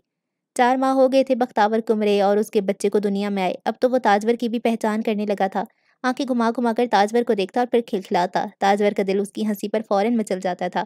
मेरा प्यारा बच्चा, कितना चलाक है। माँ की तवज्जो खींचना अभी से आ गया है। ताजवर उसका मुँह चूमकर हँसते हुए कहती और कुछ देर दोनों बच्चों से खेलने लगती। उसकी अपनी एक दुनिया बन गई। उसे किसी चौथे की घर में अब ज़रूरत ही नहीं रही थी। और शायद सारी बात ज़रूरत की ही थी कि सदाम को भी अपने बच्चे की नहीं रही थी। एक बेगर्ज बाप ताजवर एक गहरा सांस भरकर रह गई। मैं हाकिम से कहती हूँ, उन्हें कहेंगे आपसे आकर मिल जाए। ताजवर ने हर रोज़ दी जाने वाली तसली फिर से हमीदा के पल्लू से बांधी तो अल्तजा का पानी उनकी आँखों में भर आया था। ताजवर बेसाख्ता नज़रें चुराने पर मजबूर हो गई थी। ऐसी हालत में इंसान कितना मजबूर हो जाता है? जाकर भी कुछ नहीं कर पाता। ना अपने कसूर का मदावा, ना गलतियों की तलाफ़ी। ताजवर बार बार महसूस करती थी कि वो ताजवर को तकने पे आती हैं तो देखती चली जाती हैं। शायद उस सूरत में उन्हें वो अपनी ज़्यादतियाँ लिखी नज़र आती थी, जो वो सेहत के दिनों में ताजवर के साथ बरतती थी। वो जूते की नोक पे रखने जैसा सलूक, ताजवर को हर तरह से नीचा दिखाने की कोशिशें और ऐसी सूरत में जब वो अपनी औलाद की मोहताज होकर रह गई थी, यही औरत माथे पे बिना कोई शिकन लिए उनकी गिलाजत साफ़ कर रही थी और कुछ जताए बगैर चुपके से खिदमत किए जा रही थी। हाकिम एक बार उसके सामने किसी बात पे ताजवर से सख्त लहजे में बात कर रहा था, ताजवर ने जवाब दिया तो उसे मजीद तैश आ गया और उसकी आवाज़ ऊँची हो गई। और तभी उसने देखा कि माँ रोते हुए बार बार सर हिला रही थी, नफ़ी में, जैसे ताजवर से ऐसे लहजे में बात करने से रोक रही थी। हाकिम पे ठंडा पानी पड़ गया। यही हमीदा थी जो हाकिम को उकसाती थी और एक बात की चार बनाकर पेश करती थी, मगर अब हाकिम खामोश हो गया, मगर ताजवर दूसरी नज़र उन पर ना डाल सकती हुए फ़ौरन बाहर निकल गई थी। ताजवर जानती थी कि वो ताजवर से माफ़ी मांगकर अपना दिल हल्का करना चाहती हैं। उनकी आँखें बार बार रोती हैं, मगर ज़ुबान कुछ कहने से कासिर रहती है। हालाँकि ताजवर अपने रवैये से कितनी बार एहसास दिला चुकी थी कि उसके दिल में उनके लिए कोई गिला नहीं है। हाँ लेकिन ऐसे मौके पर ताजवर को हमेशा एक शख्स याद आते थे, मौलवी हयात। ऐसी बेबसी, ऐसी लाचारी, जिसमें बंदा चाहकर भी ना हाथ पाँव मार सके, ना कुछ कर सके। कितनी प्यास उग आती होगी फ़कत एक बार की ख्वाहिश की। ठीक है, उसी कर्ब से गुजरे होंगे अब्बा मियाँ। बेबस व बेयार व मददगार। ताजवर ने उनकी सूरत नहीं देखी थी, मगर यही तासुरात हमीदा के चेहरे पे फैलते देखते तो दिल में हुक सी उठती थी। हाय मेरे अब्बा। मैं अभी हाकिम से कह देती हूँ, आप फ़िक्र ना करें। ताजवर ने एक बार फिर उसे कहा और कपड़ा उनके जिसम पर ठीक करते हुए बाहर आ गई। बच्चे हाकिम के साथ खेल रहे थे। ताजवर फीडर में दूध लेकर आई तो वो सीधा हुआ। अम्मा, ठीक है? हाकिम ने उसे सवाल किया तो ताजवर ने मसरूफ़ अंदाज में सर हिलाया। जी, मैं उन्हें दूध पिला दूँ, ये खेलते रहेंगे। आप फिर नाश्ता बना देती हूँ। हाकिम को उस वक्त जानवरों का दूध दोने और चारा डालने के बाद नाश्ता चाहिए होता था। अभी रहने दो, बल्कि आज मैंने तुम्हें जानबूझकर नहीं जगाया। नमाज़ के लिए अगर उठ गई थी तो बाद में थोड़ी देर सो जाती। सारी रात बच्चे तुम्हें जगाते हैं। हाकिम बच्चों पे नज़र जमाए ताजवर से कह रहा था, ताजवर एक लम्हे को खामोश रही। उस धूप छाँव से शख्स पे वो हैरान होना छोड़ चुकी थी। नहीं, अम्मा को कुछ हल्का फुल्का बना कर देना होता है। मरीज़ है वो, इंतज़ार करवाना ठीक नहीं। वो सादा से लहजे में बोली थी, तुम थक नहीं जाती? उसे न जाने किस चीज़ की फ़िक्र थी। नहीं, मुझे इसकी आदत है। वही आम सा लहजा। अच्छा कितने बच्चे हैं तुम्हारे? हाकिम मुबहम सा हंसा था ताजवर चौंकी। मतलब? मतलब तुम्हें दो दो बच्चे पालने की आदत है? इससे पहले कितने बच्चे पाले हैं तुमने? मैं घर के कामों की बात कर रही थी। ताजवर ने संजीदगी से जवाब दिया, बच्चे तो तंग नहीं करते, ये बोझ तो नहीं है मुझ पर वो मोहब्बत से दोनों नन्हे मुन्ने को देखने लगी, जो दूध पीते हुए एड़ियाँ उठाते और नीचे गिराते हाथ मार रहे थे। हाकिम ने एक नज़र ताजवर पर डाली और फिर हटा ली। आपसे एक बात कहनी थी, सदाम डाला से कहीं घर का चक्कर लगा लिया करें। ताजवर का लहजा किसी किस्म की तासुर से आ रही था, फिर भी हाकिम को उस ज़िक्र की तो नहीं थी। ताजवर उसका नाम ज़ुबान पे बहुत कम लाती थी, बहुत ज़रूरत के तहत। क्यों? कोई मसला है? हाकिम ने चौंक कर पूछा। मेरे मसले का उनसे क्या ताल्लुक? अम्मा उन्हें बहुत याद करती हैं, मुझे कई दफ़ा कह चुकी हैं, मगर मैं ज़िक्र करना भूल जाती थी। अम्मा को उनकी याद आती है? हाकिम ने ज़ेरे लब कहा। ये तो उसने सोचा ही नहीं था कि अम्मा का दिल सिर्फ़ हाकिम की तवज्जो ही नहीं चाहता होगा, बल्कि वो एक दूसरी बेटी की भी माँ है। महीने बीते हैं, उन्हें शक्ल दिखाए। ताजवर ने दबे लहजे में एहसास दिलाया। मुझे तो अक्सर मिल लेता है बाहर कहीं, मगर मुझे ख्याल ही नहीं आया।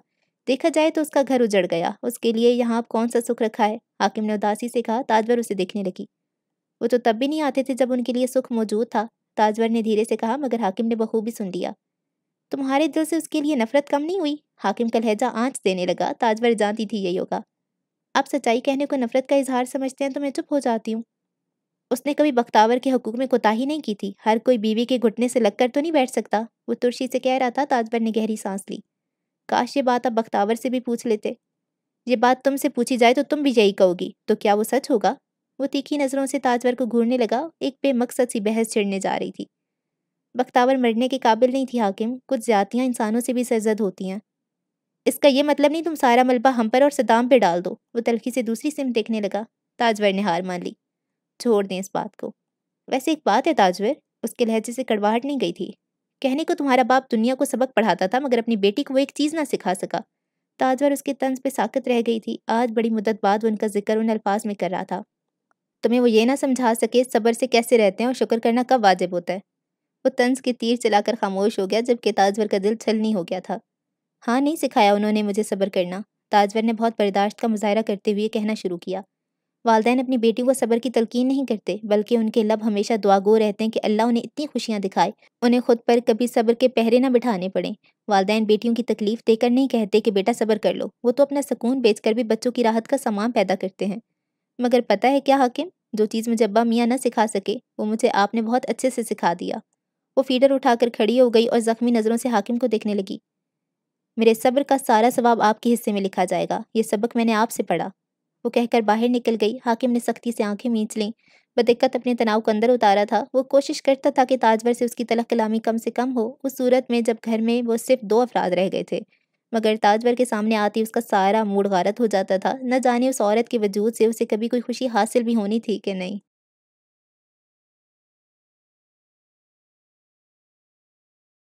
रात की स्याही फिजा में बरसती जा रही थी। शब अपने पंख हर शय पे फैला चुकी थी और घर में परेशानी की फिजा कायम थी। वो इनकी अब तक कोई खबर नहीं मिली थी। सिमी ने पानी के छींटे मार मार कर अपने चेहरे को धो लिया था। ताई जी का ववेला वक्फे वक्फे से जारी था। या अल्लाह, ये क्या हो गया? मेरे हँसते बसते घर को किसकी नज़र लग गई? मेरी आँखों के सामने तैयार होकर गया था। कितना खुश था और अब, हाय, मेरा कलेजा फट रहा है। उस बात को छोड़ती तो दूसरी को पकड़ लेती। ये कैसी बदबख्ती है जो बात शुरू होने से पहले ही रुक गई। शादी से पहले ये कितना बुरा समझा जाता है। ये मेरे बच्चे के साथ ही होना था। अम्मा परेशानी से उंगलियाँ चटखाती, सहन में चक्कर लगा रही थी। ताई जी की आवाज़ समातों पे बहुत गिरा गुजरती। हाय मेरा बच्चा, कोई पता कराए किस हाल में, कैसी मनहूस खड़ी थी जिसकी जद में आ गया मेरा बच्चा, कहीं उसे? वो सर पे हाथ मार कर रोना शुरू कर देती। अम्मा ने दहल के उनकी तरफ़ देखा। अल्लाह का नाम लो, ये कैसी बातें मुँह से निकाल रही हो? दुआ करो वो ठीक हो। तुम्हारे रोने पीटने से, इस तरह शोर मचाने से हमारा दिल और डर रहे हैं। अम्मा ने खासी कोफ्त बर्दाश्त करने के बाद नागवारी से टोका था। सिमी चुपचाप बरामदे में आ खड़ी हुई। आज का खुशियों भरा दिन बस बसों से खौफ की गोद में गुरूब हो गया था। तुम लोगों को क्या फ़िक्र? बेटा तो मेरा है ना? तुम्हारी औलाद तो तुम्हारे सामने। कितना मना करती थी मैं उसे तुम लोगों से अपनी जान छुड़ाने में। हमेशा अपना सदका उतारने का कहती थी। यहाँ तो कोई उसके अहम दिन से खुशी नहीं था। जब देखो मुँह पे मातम छाया हुआ है, खा गई ना हुसत मेरे बेटे को। ताई जी का कटीला लहजा सिमी के दिल में गड़ गया था। अम्मा के चेहरे का रंग बदला जबकि शमाइल आपकी बार खामोश नहीं रह पाई। जिस तरह के अब बदफाल अपने मुँह से निकाल रही है ना, लगता तो नहीं है आप मोइन की खैर ख्वाह हैं। महज दूसरों के लिए अपना बुगत ज़ाहिर करते हुए आप यूँ रिएक्ट कर रही हैं जैसे खुदा न ख्वास्ता मोइन को वाकई कुछ हो गया शुमाइला?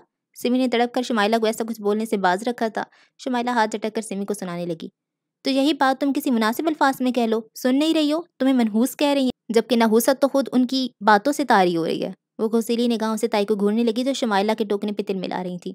तुम किस हक से मुझे सुना रही हो? मत भूलो कि तुम मेरे घर में खड़ी हो और मैं तुम्हारी कोई बात बर्दाश्त नहीं करूँगी।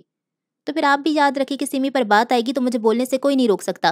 वो जीती जागती इंसान है, कोई मट्टी का भूत बुत नहीं कि आप बातों के निश्तर पेवस्त करती जाएँ और उसे कुछ महसूस ना हो। वो भी आप जितनी परेशान है। शुमाइल ने तुर्की पर तुर्की जवाब दिया था। वो अगर परेशान होती, वो भी मोइन के लिए तो मोइन आज इस हालत में ना होता। तलक सी नज़र सिमी पर डालकर वो दूसरी सिम देखने लगी। शुमाइला की मुठियाँ भिंज गई। उसकी हालत की जिम्मेदार सिमी नहीं है। आपका बेटा इस हादसे के वक्त अकेला था। हाँ उस वक्त जब उसके नाम के साथ सिमी का नाम जुड़ने वाला था। अभी भी तुम्हें कुछ बोलने की ज़रूरत है? नहीं, आपके साहबजादे को अक्ल से काम लेने की ज़रूरत है। जो चीज़ आप ज़बरदस्ती सिमी के सर पर डालना चाहती हैं, वो यकीनन उसकी बेहतियाती का नतीजा होगा। रोड पे ड्राइविंग के कुछ असूल होते हैं, ज़रा सी जल्दबाजी इस तरह के हादसा से दो चार करती है। आप बजाय उसके मोइन की खैरियत के लिए दुआ कर लें, फजूल बातों के पीछे पड़ गई हैं। शुमाइला ने पहले से बढ़कर सख्ती से उनकी बात रद्द की। ताई जी की चंद लम्हों के लिए सिट्टी गुम हो गई। अम्मा ने एक तासुब भरी निगाह उन पर डाली और शुमाइला को मुखातिब किया। बेटा, रात छा गई है, तुम घर चली जाती। अल्लाह करम फरमाएगा उन्हें उसकी फ़िक्र होने लगी थी, शुमाइला ने गहरी सांस ली। कोई बात नहीं खाला, मुझे बाबा या शमरेज ले जाएँगे। फ़िलहाल मेरा सिमी के साथ रुकना ज़्यादा ज़रूरी है। वो सिमी की तरफ़ देखकर बोली, जो उस पार्ट से चेहरे के साथ न जाने क्या सोचे जा रही थी। फिर तुम दोनों अंदर चलकर बैठो। काफ़ी देर हो गई है, अब तो आने वाले होंगे। अम्मा ने कमज़ोर से लहजे में उनसे ज़्यादा खुद को तसली दी। वो दोनों अंदर जाने के लिए कदम उठाने ही लगी थी कि दरवाज़ा खुलने की आवाज़ आई। अम्मा बेताबी से मुड़ी थी, सिमी के दिल को भी पंख लगे थे। रात के अंधेरे में सफ़ेद कपड़ों वाले अब्बा और ताया जी थे, जो दरवाज़ा खोलकर सहारा देते हुए मोइन को अंदर ला रहे थे। उसके सर पे पट्टी बंदी नज़र आ रही थी। चाल में भी लड़खड़ाहट थी, जो शायद घुटने छिलने और पाँव की चोटों के बायस थी, और बाजू में फ्रैक्चर आया था। सिमी के दिल को वहम हुआ कि वो एक लहजे में कमज़ोर सा लग रहा है। उसे अपने सामने पाकर दो तीन घंटों का गुब्बार आँसू बनकर आँसू से उबलने लगा? मुइन, कैसे हो बच्चे? कैसे हो गया ये सब? कितनी चोटें लग गई हैं? अम्मा ने आगे बढ़कर उसकी पेशानी से बाल हटाते हुए मुतफिकराना अंदाज में दरियाफ्त किया था। उसकी चोटें देखकर उनका दिल सचमुच दुखा था। मैं ठीक हूँ फ़िक्र ना करें। मेरी वजह से आप सबको बहुत परेशानी उठानी पड़ी। वो छोटे छोटे कदम उठाता कदरीना शर्मिंदगी से बोल रहा था। अम्मा के दिल में बेसाख्ता प्यार उमड़ाया। हमारी परेशानी को छोड़ो बेटा। अल्लाह तुम्हारी उम्र दराज करे। तो मैं नाह कितनी तकलीफ़ उठानी पड़ी। वो दिल ही दिल में किसी बड़े नुकसान से बचने पर अल्लाह का शुक्र अदा करने लगी, जबकि मोइन चलता हुआ बरामदे तक आया तो ताई जी ने सूरत से उठकर उसे गले से लगा लिया था। कहाँ रह गए थे तुम लोग? मेरी जान पर बनी हुई थी। दुआएँ मांग मांग के हलक सूख गया। अल्लाह का लाख लाख शुक्र है तुम्हें अपनी आँखों से देख रही हूँ, मेरे दिल को कहीं करार नहीं था। ताई जी की मोहब्बतों के मुजाहरे जारी थे। शुमाइला ने सिमी को कोहनी मारी और जिताती नज़रों से कुछ इशारे किए। अच्छा बस करो, उसे अंदर लेटने दो। ताई जी ने उन्हें अलहदा किया और वो चलता हुआ अपने बिस्तर पर बैठ गया। सब अंदर बढ़ गए थे। सिमी और शुमाइला दरवाजे में रुक गई। मोइन की नज़र ज़रा सी उठी तो सिमी तक गई। दोनों की निगाहें मिली। मुरझाया मुरझाया सा चेहरा और जर्दी सी सिमी। उसने बेसाख्ता नज़रें समेट लीं। आप सबको परेशान करने के लिए माजरत चाहता हूँ। मैं मिठाई लेकर आ रहा था जब ज़रा सी बेदहानी से कार से टकरा गया। अल्लाह का करम हुआ, सड़क के किनारे गिरा था, वरना बहरहाल मेरी वजह से। सबकी तवज्जो पाकर वो मध्यम लहजे में कह रहा था, ताई जी, उसकी पूरी बात होने से कबल चमक कर बोली यहाँ परेशान कौन था? बल्कि कुछ लोगों की तो ऐसी सूरत हाल में भी मिजाज नहीं मिल रहे थे, जैसे ये सारी तुम्हारी ही गलती है। शायद मेरी गलती थी। मोइन ने पैर फैलाते हुए आहिस्ते से कहा तो ताई जी ने शुमाइला पर नज़र डालते हुए, जिसके चेहरे पर इस्तेजा था, पैंतरा बदल लिया। कोई नहीं, ये बड़ी गाड़ियों वाले तो होते ही अंधे हैं। अपना तो कुछ नहीं जाता, दूसरों के नुकसान को उनकी क्या परवाह? बस बेटा, अल्लाह का बड़ा एहसान हुआ हम पर। कोई बात नहीं, तारीख फिर रख दी जाएगी। यहाँ वैसे भी किसको जल्दी थी? वो आखिर में अपनी आदत के मुताबिक सुनाना ना भूली। ये कैसी बात कर रही हो? इतने लोगों के बीच खामोशी में ताया जी को अहलिया की बात कुछ पसंद नहीं आई थी। सच्चाई बयान कर रही हूँ, नियतों में खोट हो तो कोई काम सीधा कैसे हो सकता है? कम अज़ कम मैंने तो यहाँ आज के प्रोग्राम को लेकर किसी को खुश नहीं देखा। अच्छा बस, ताया जी ने फ़ौरन टोक दिया। वो इनसे इख्तलाफ राय कम ही करते थे, मगर इतने लोगों के बीच उन्हें ये बात नागवार गुजरी। ये वक्त इन बातों का हरगिज़ नहीं है। जब अल्लाह का हुक्म होगा, वो काम भी बखैरियत, इंजाम पा जाएगा। उसमें भी कोई अच्छाई होगी। ताया जी ने उनकी बात का असर ज़ायल करने के लिए मुस्बत अंदाज अपनाया तो सब लोग अपनी जगहों पर गहरी सांस खारिज करके रह गए। सिमी, तुम जाओ। मोइन के लिए दूध गर्म करके ले आओ। अम्मा ने सकूत ओढ़ते हुए सिमी को हदायत दी तो अब्बा ने सर हिलाकर तायद की थी। फ़ौरन सिमी वहाँ से हट गई। सुनो सिमी, तुम्हारी ताई जी नाकाबले बर्दाश्त है। शुमाइला उसके पीछे चलती हुई दबिया आवाज़ में नागवारी का इशार कर रही थी। उनकी शुरू से आदत है, तुम अपना खून मत चलाओ सिमी ने बोझलपन से कहा। मैं उनको खुद पे हावी नहीं करने वाली, मगर मोइन को तो तुम्हारी साइड लेनी चाहिए, वो बददिल हो रही थी। वो कुछ नहीं कह पाता लिहाज में। बाद में यही लिहाज तुम्हारी ज़िंदगी अजीरन कर देगा। नहीं, तब की बात और होगी, मेरी तरफदारी कर लेगा। सिमी को न जाने यकीन था कि गुमान। क्यों? तब ये काया पलट क्यों कर मुमकिन है? इस रिश्ते में बनकर हम सफ़र की साइड लेना आसान हो जाता है। अभी उसके लिए क्या मुश्किल है? शुमायरा जरा करने लगी। अभी तो वो हक हासिल नहीं। फिर भी कज़न तो हो ना, इस रिश्ते का कोई हक नहीं। उस रिश्ते से का तो कम है। अल्लाह करे ये तुम्हारी खुश फहमी ना साबित हो। शुमाइला कुछ ज़्यादा ही दिल पर ले चुकी थी। सिमी ने जवाब दिए बगैर मुँह नीचे किया और दूध गर्म करने के वास्ते चूल्हे में ज़ोरदार फूंके मारती हुई आग तहकाने लगी। आँखों में मिर्चें खुले आसमान तले भी उसके अंदर की घुटन बढ़ती जा रही थी। आसमान से धुंध उतर रही थी नीलगों उजाले में घुलती सफ़ेद धुंध। ऊपर से नीचे गिर रही थी। ये मौसम की पहली धुंध थी जो रात के पहले पहर नमूदार हुई और फलक कहरे के लपेट में आ गया। उस गुबार तले चाँद तारे छुप गए थे। ताजवर ने मामूली से ज़्यादा सर्दी महसूस की तो कोयले दहकाए और उसे तोगार में अंडेल कर हमीदा की चारपाई के करीब रखकर हिद्दत मिलती रहे। फिर पेटी से उनके लिए रज़ाई निकाली। उसे इतनी ठंड नहीं लग रही थी, मगर वो जानती थी अम्मा का वजूद बहुत कमज़ोर था। ऊपर से मरीज़, उन्हें आम इंसान से ज़्यादा सर्दी लग रही होगी। आज मुन्ने को बुखार हो रहा था। ताजवर को डर था कि हाकिम उसकी कोताही पे, समझ पर उस पर नाराज़ होगा। उसने हाकिम को आगाह किया तो वो उसे हकीम के पास ले गया। काम समेटते हुए उनका इंतज़ार करते वक्त जहनी तौर पर तैयार थी कि हाकिम की झड़प खामोशी से बर्दाश्त कर ले। हाकिम उसको लेकर आया तो ताजवर ने हथियार से उसे बिस्तर पर अपने बेटे के बराबर लेटाया और कंबल उसके चारों तरफ़ लपेट दिया। वो इसी तरह दोनों को साथ लिटाकर एक तरफ़ खुद सोती थी। शायद इंजेक्शन के ज़रिए असर वो सो रहा था। इंजेक्शन लगा होगा, हरारत कम महसूस हो रही है। ताजवर ने चेक करके खुद कलामी की हाकिम ने सर हिलाया। कोई और दवा नहीं दी? ताजवर ने सवाल किया। दिया यह बुखार का सिरप। हाकिम ने जेब से निकाल कर उसकी तरफ़ बढ़ाया। मौसम की तब्दीली का असर होगा। बच्चों को ठंड जल्दी लग जाती है, हज़ार एहतियात के बावजूद। हाँ डॉक्टर भी यही कह रहा था। हाकिम का लहजा सरसरी सा था ताजवर मजीद कहने लगी। मैं तो अपनी तरफ़ से कोशिश करती हूँ शायद। वो कुछ कहते कहते चुप कर गई। हाकिम कुछ गैर मामूली पन महसूस करके उसकी तरफ़ मुतवजो हुआ। तुम क्या कहना चाहती हो? आप आप नाराज़ तो नहीं हुए? उसने बिलाखिर पूछ लिया हाकिम की आँखों में हल्की सी हैरानी लहराई थी। मैं क्यों नाराज़ हूँगा इसमें तुम्हारी क्या गलती? वो मुबम सा मुस्कराया था ताज पर बेयकीन सी हो गई। इसलिए कि शायद आप सोचें मेरी लापरवाही एक बोझ सा उसके दिल से सिरक गया था। बुखार अब तो तुम नहीं कर सकती ताजवर बच्चों के साथ हो जाता है ऐसा। फ़िक्र मत करो सुब तक बेहतर होगा। उसका लहजा खिलाफ तो नरम था इसलिए ताजवर भी, इख्तियार कहने लगी। मैंने उसे अपना बेटा कहा है मगर आप और सदाम लाला उसको लेकर ज़्यादा एहसास होंगे अपना बच्चा हो तो कोई कुछ नहीं कहता, मगर उसे कुछ हो तो ताजवर हाकिम ने उसे टोक दिया। ये तुम्हारा ही बच्चा है, इसे अपने बेटे की तरह समझो। तुमसे कोई बास बुरस नहीं करेगा इसके बारे में। हाकिम ने उसे यकीन दिया था। ताजवर की आँखें तशक्र के एहसास से जगमगाने लगीं। आप सीधे होकर बैठे, मैं खीर लेकर आती हूँ। उसी कैफियत से हाथ छुड़ाकर बाहर चली गई। हाकिम को खीर बहुत पसंद थी, बल्कि मीठा वो शौक से खाता था।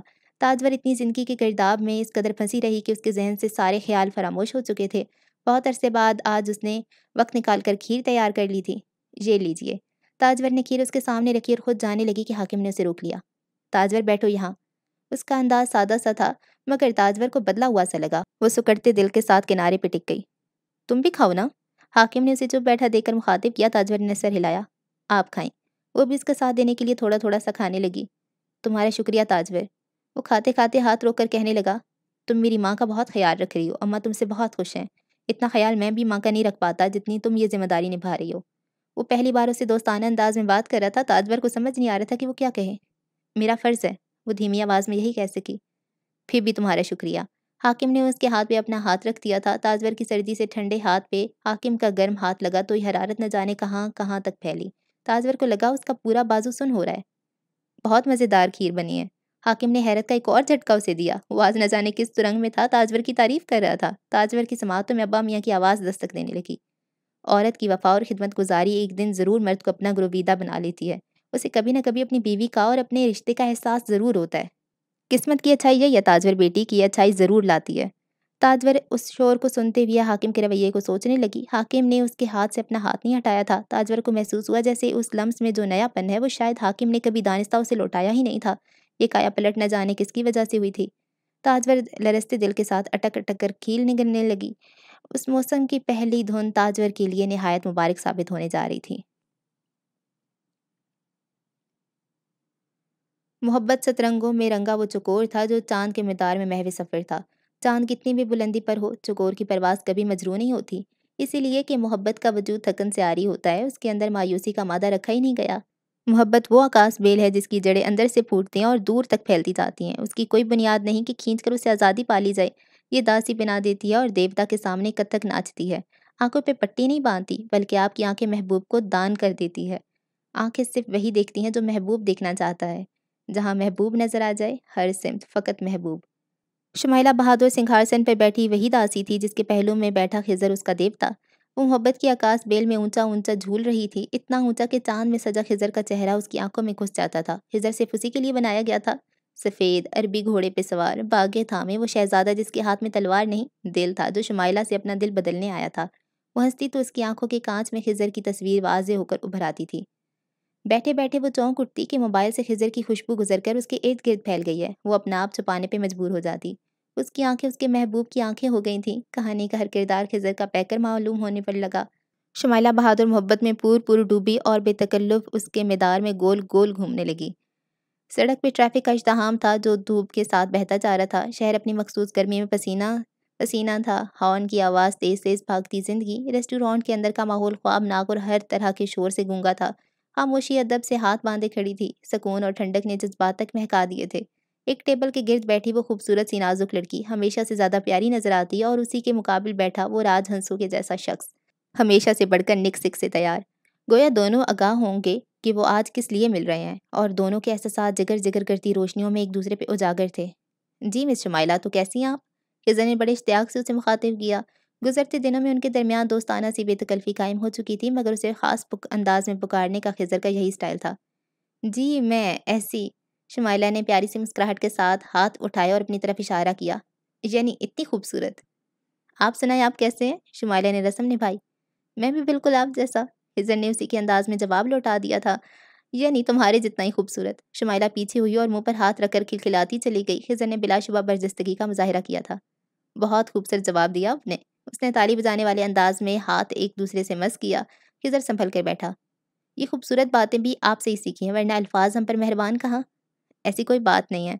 शुमारा ने फ़ौरन तरदीद की। आप खुद मुतासर कन गुफ्तु करते हैं। ये बात आप जैसी अजीम मुसनफ़ा के हमारे बारे में ख्याल हैं तो यकीन करें, मेरे लिए इससे बढ़कर कीमती असासा और कोई नहीं। हिजर ने तफसीली जवाब से नवाजा था और हाथ सीने पर बाँध कर फुर्सत से शुमाइला को देखने लगा। शुमाइला की रंगत में गुलाबियत खुलने लगी। किसी को लाजवाब करना तो कोई आपसे सीखे। बखुदा, ये मेरे दिल की आवाज़ है। खिजर के लबों में मुस्कान, आँख चोली खेलने लगी, आँखें बोल रही थीं। आपने इस मुलाकात का बहुत इंतज़ार किया है। अगर आपके इख्तियार में ये ना होता तो मैं कभी इसरार न करता। मगर आप आएँ तो मैं तह दिल से शुक्रगुजार हूँ। खिजर ने दिल पे हाथ रखे एहतराम पेश किया, अपनी पसंदीदा शख्सियत से अकीदा भरा मुजाहरा शुमैला की उंगलियाँ कांच के नाजुक गिलास को छू रही थीं। मेरे लिए इसमें कोई मसला नहीं था, मगर मैंने आपको बाखबर किया था कि सिमी की डेट फिक्स होनी थी। वो तो बाद में उसके फ्योंसी का एक्सीडेंट हो गया तो मामला अधूरा रह गया। शुमाइला का लहजा हल्का सा माजरत ख्वाहाना था। हिजर के चेहरे पे फ़िक्र की परछाई लहराई गई। ओह, अब तो ठीक है ना वो? और आपकी दोस्त? जी, बाजू में फ्रैक्चर आया है, उसके ठीक होने तक तो अब कुछ नहीं हो सकता। सिमी को भी वक्ती परेशानी तो पेश आई, मगर वो खासी बहादुर वाकिया हुई है। शुमाइला ने जवाब दिया तो बीच में खामोशी का वक्फा ठहर गया। वेटर खाना सर्व कर रहा था। उसके फारिग होने पे खिजर ने वहीं से कलाम का सिलसिला जोड़ा। ये तो बहुत अच्छी बात है, लड़कियों का बहादुर होना बहुत ज़रूरी है। बिल्कुल, स्पेशली मेरे साथ रहते हुए। शुमाइला ने प्लेट में सलाद निकालती हुई शरारत से टुकड़ा लगाया। ऑफकोर्स हिजर खिलकर मुस्कराया था। दोनों धीरे धीरे खाते हुए बातें करने लगे। फिर आपका काम कहाँ तक पहुँचा? इजर का इशारा स्क्रिप्ट राइटिंग की तरफ़ था। आयला ने चेहरे पे उड़ती लिट को कान के पीछे सा काम तो अभी शुरू नहीं किया, कुछ मसरूफियत चल रही है और आपकी आईडी पर भी तो काम मुकम्मल करना है ना? वाह नावल मुकम्मल हो गया है। इजर ने दिलचस्पी से पूछा। कुछ हिसाब भी कलम बंद होना बाकी है। आप बताइए, आपका प्ले होने में कितने दिन बाकी होंगे? शुमाइला को याद आया। फ़िलहाल कुछ दिन हैं। एग्ज़ाम शुरू हैं, स्टूडेंट भी उसी की तैयारी में मसरूफ़ हैं। आप तब तक सहूलत से अपना काम मुकम्मल करें। काम ज़्यादा तो बाकी नहीं रह गया, बस एक कुछ कैरेक्टर्स के डायलॉग से मैं मुतमिन नहीं थी। उन्हीं पर नए सिरे से काम जारी है। अरे, यानी मैंने सही मेहनत करवाई है आपसे? वो हंसने लगा, शुमाइला भी मुस्कुराने में शामिल हो गई। खैर, इतनी भी नहीं और मैं अपने प्रोजेक्ट्स पे इसी तरह मेहनत करती हूँ। आप कोई किरदार परफॉर्म करें तो विलन का चूज़ कीजिएगा। शुमाइला ने उसे मशवरा दिया, खिजर की हँसी में हैरानी की आमेजिश हो गई। मुझसे क्या किसी की दुश्मनी पैदा हो गई है कि आप मुझे विलन बनाना चाहती हैं? वो हाथ रोक कर उसे इस्तफसार करने लगा, जैसे ये बात जानने में खिजर को बहुत दिलचस्पी हो। विलन बुरा तो नहीं होता? पावरफुल होता है। वो हीरो से ज़्यादा जहनों पर छाया रहता है। शमाइला ने हकाइक से आगाह किया खिजर सर हिलाकर गोया हुआ। मुतफिक मगर यह भी तो है कि विलन का इम्प्रेशन जहनों पर पसंदीदगी की सनत नहीं पा सकता। खैर, क्या आप हीरो बनना चाहते हैं? मैंने ये तो नहीं कहा। बगर हर इंसान अपनी ज़िंदगी में किसी के लिए तो हीरो होता है। हिजर ने गहरी बात कही थी। शुमाइला अगली बात कहना भूल गई। मैंने कुछ गलत तो नहीं कह दिया। खिजर उसे निगाहों में जांचते हुए इस्तफामियाँ देखने लगा शुमाइला एतमाद बहाल करके मुस्कुरा उठी। बिल्कुल नहीं, बल्कि मैं सोच रही थी उसे अपनी किसी नावल में कोट करूँ। शुमाइला ने बात बना ली थी खिजर ने दूसरी बात की। मेरा ऐसा कोई इरादा नहीं मगर ये आपकी ख्वाहिश है तो मैं विलन ज़रूर बनना पसंद करूँगा। यकीन इसमें भी कोई ख़ास बात होगी। महज मेरी ख्वाहिश की वजह से? शुमाइला ने बात पकड़ी। ये महज ख्वाहिश नहीं है मेरे लिए, मुझे बहुत खुशी होगी। हिजर ने मैनी के तासुरात के साथ उसे बताया था शुमाइला कांटे से खेलने लगी। शुमाइला, मेरे लिए ये मुलाकात बहुत ख़ास अहमियत की हामिल थी, वरना मेरे यूनिवर्सिटी फ़ैलो आपसे मुलाकात करने के लिए बहुत बेताब थे। मैंने वो प्लान किसी और वक्त के लिए उठा दिया। हिजर ने संजीदा होते हुए टिशू से लब थप थपाए तो शुमाइला ने ड्रिंक का एक घूंट लिया था। चलें जी, आपके फ्रेंड से भी मिलेंगे। वैसे आप उन्हें बताइएगा कि उनके खतूत आज तक मेरे पास महफूज हैं। मैं ज़रूर बताऊँगा। इस शानदार सी दावत पर मेरे साथ देने का बहुत बहुत शुक्रिया और हिजर ने कहते साथ ही अपनी पॉकेट की जेब में हाथ डालना शुरू कर दिया था। शुमाइला का दिल किसी एहसास के तहत धड़कने लगा। धड़कनों की सुर वायलन की साज में ढलने लगे थे। आपको शायद ऑकवर्ड लगे, मगर एक मिनट के लिए अपनी आँखें बंद कर लें। वो लबों में मसूर कर मुस्कुराहट सजाए शुमाइला का इम्तिहान ले रहा था। शुमाइला ने उसकी ख्वाहिश पे अमल करते हुए आँखें बंद कर लीं, मगर एक खैरा कन सी चमक उसके चेहरे पे फूट रही थी। हिजन ने उसके चेहरे पर इतने रंग बिखेर दिए कि वो सब भूल कर मबूत सा रह गया था। मैं आँखें खोल दूँ? शुमाइला ने खिजर की खामोशी नोट की तो पूछ लिया, खिजर अब किसी ख्वाब से बेदार हुआ। एक मिनट, हिजर ने सर झटका। फिर एक खूबसूरत सी मखमली डबिया खोलकर शुमाइला की तरफ़ बढ़ाया और हल्का सा आगे झुककर गंभीर लहजे में सरगोशी की। आप आँखें खोल सकती हैं। शुमाइला ने आहिस्तगी से अपनी आँखें खोली और खिजर की जानब देखा। फिर खिजर से होती हुई उसकी निगाह नीचे गई। एक खूबसूरत सी डब्बी उसके हाथों में थी और उसमें मौजूद नाजुक सा चेन सेट। रेस्टोरेंट की रोशनी में उसमें जुड़ा नन्ना सा हीरा पूरी आबोताब से जगमगा रहा था। शुमाइला को इतनी कीमती तोहफे की तो नहीं थी और इतनी कीमती तोहफे का मतलब कुछ देर के लिए वो कुछ कहने के काबिल नहीं रही थी। शुमाइला, खिजर का लहजा जज्बों से चूर था, हिद्दत देता हुआ अपना आप खोलता बयान करता। शुमाइला अपना खोया दिल बमुश्किल महसूस कर पाई। खिजर ये उसके लब हिले, वो शायद इनकार कर देती। कुछ मत कहना, मैंने आपके लिए इसे बहुत तलाश के बाद पाया है। मुझे कुछ आपकी शयान शान नहीं लग रहा था। वो डूब के कह रहा था, शुमाइला को लगा दुनिया जहान की दौलत उसके कदमों में ढेर हो गई है। एक महबूब शख्स की तरफ़ से पेशकदमी और ख़ुद को मलका के दरबार में पेश करने का अंदाज। इश्क का चकोर, चाँद छूने पहुँच गया था। ये बहुत खूबसूरत है। Khizar I mean just wow फिक्रे टूट टूट कर उसके लबों से अदा हुए। कुछ बोलने की ज़रूरत भी क्या थी? सब कुछ सामने था। जो छुपा हुआ था, वो आया था। आया हो गया था। आपके वकार में इजाफा कर देगा ये। कितना महजब अंदाज था खिजर का। शुमाइला ने कभी अपने तखीलाती किरदारों में भी ऐसा सीन नहीं लिखा था। शायद इसलिए उसे, उससे कभी गुजरना नहीं पड़ा था। वो खिजर जैसा अंदाज किसी और में नहीं देख सकी थी। धीरे से उसने हाथ आगे बढ़ाया और अपना गिफ्ट कबूल कर लिया। खिजर मुस्कुराने लगा। Thank you so much and Khizar ने ममनूनियत से लब भींच लिए। दोनों के दिल मोहब्बत से लबरेज थे और आँखें दास्तान गु थीं। लम्हे उनकी चाहत पे कुर्बान होते गए। वक्त सरशार ये मुलाकात सिर्फ़ खिजर के लिए अहमियत नहीं रखती थी। ये शुमाइला के लिए भी बहुत ख़ास हो गई थी दोनों चुपके से एक दूसरे को देखते रहे। धीमी धीमी मुस्कान के साथ। सुलगती शम्मा जैसी फूटती लू में अनमोल मोहब्बत की खुशबू। मोहर सब्त करते जज्बों के बीच। रेस्टोरेंट की तमाम रोशनियाँ हीच हो गईं, फ़कत शुमाइला के हाथ पे जगमगाते खिजर के इजहार के सामने। रातें आहटे छुपाती, दबे पाँव गुजर रही थीं। ताजवर बच्चे को बाहों में भरे, हिलाती हुई कमरे में टहलती उसे सुलाने की कोशिश कर रही थी। हाकिम ईशा की नमाज़ अदा करने गया हुआ था। उस घर के पहले से ही मुख्तसर मुकीन थे और उस वक्त तो पूरा घर सुनसान सा महसूस होता था, जैसे आधी रात का समय हो और झींगरे तक पत्ते ओढ़े सो गए हों। ऐसे में हमीदा के कमरे का खटक हुआ तो ताजवर चौंक के मुतवजो हुई। रात में हाकिम उसी के कमरे में सोता था, ताजवर बच्चे को लेती हुई उनके पास आ गई। आप सोई नहीं है? कुछ चाहिए? ताजवर की चराग की लू तेज करने हुए इस्तफसार किया तो दूसरी तरफ़ खामोशी छाई रही। ताजवर मुड़कर उनके करीब आई थी। हमीदा का सांस बुरी तरह उखड़ रहा था, वो लंबे लंबे सांस खींच रही थी। अम्मा, क्या हो रहा है आपकी को तबीयत खराब हो रही है? वो तेज़ी से ऊपर झुककर पूछने लगी, उनकी आँखें बाहर कुबली हुई थी। मुझे उससे बुलाओ। वो हाँपते हुए कुछ कहने की कोशिश में हल्कान हो रही थी। ताजवर ने जल्दी से बच्चे को दूसरी चारपाई पर लिटाया और हथेलियाँ मसलने लगी। आप पुरसकून रहें, आहिस्ता से सांस लेने की कोशिश करें। मैं मैं हाकिम को बुलाती हूँ। उसके अपने हाथ पैर फूल गए थे। तेज़ी से खुले दरवाजे से बाहर नज़र घुमाई, मगर हाकिम की आमद की कोई आसार नहीं थे। वो तसल्ली देने लगी। मुझे हाकिम सदाम को, को बुलाओ मैं वो अपने दोनों बेटों को याद कर रही थी। ताजवर के कहने के बावजूद सदाम माँ से मिलने नहीं आया था। हाकिम ने न जाने पैगाम पहुँचाया भी था या नहीं। वो परेशानी से पेशानी छूकर तेज़ी से बाहर लपकी। हाकिम पता नहीं आया होगा या नहीं। हिरासा होकर ताजवर तेज़ी से दरवाजे पर दस्तक देने लगी जो बाड़े की तरफ़ खुलता था। हाकिम शायद दूसरी तरफ़ मौजूद था। दरवाज़ा बजता देखकर दरवाज़ा खोलकर अंदर आ गया। बच्चे की रोने की आवाज़ यहाँ तक सुनाई देने लगी थी। खैरियत? क्या उसे फिर से बुखार हो रहा है? वो ताजवर के बुलावे को यही समझा। नहीं, मगर अम्मा की तबीयत बिगड़ रही है। वो वो आप दोनों को याद कर रही हैं। ताजवर की पूरी बात सुनने से कबल हाकिम अंदर की जानब दौड़ता, ताजवर भी पीछे पीछे आई थी। अम्मा, क्या हुआ आपको? हाकिम घबराहट में उनसे पूछने लगा। हमीदा की हालत वाकई बेकाबू लग रही थी। हाकिम वो सद्दाम लाला को याद कर रही हैं। ताजवर ने उन्हें वही टूटे फूटे अल्फाज अदा करते देखकर हाकिम से कहा, दोनों आँखों से पानी रवा था। हाकिम को किसी अनहोनी का खौफ सताने लगा। ताजवर, कहीं अम्मा? हाकिम अपने खदशे को ज़ुबान न दे सका ताजवर समझ चुकी थी। आ मजीद देख न करें, अभी जाकर उन्हें साथ ले आए, शायद उनसे बात करके तबीयत बेहतर हो जाए। ताजवर ने उसे समझाया तो वहाँ पर झुका। मैं भी आता हूँ, अम्मा, मैं उसे लेकर आता हूँ, आप मेरा इंतज़ार करें। वो तेज़ी से बाहर निकला और सहन में निगाहें दौड़ाई। उस वक्त उसे कोई चीज़ नज़र न आई जिस पर बैठ कर वो उड़ता हुआ सद्दाम के डेरे पे जा पहुँचता।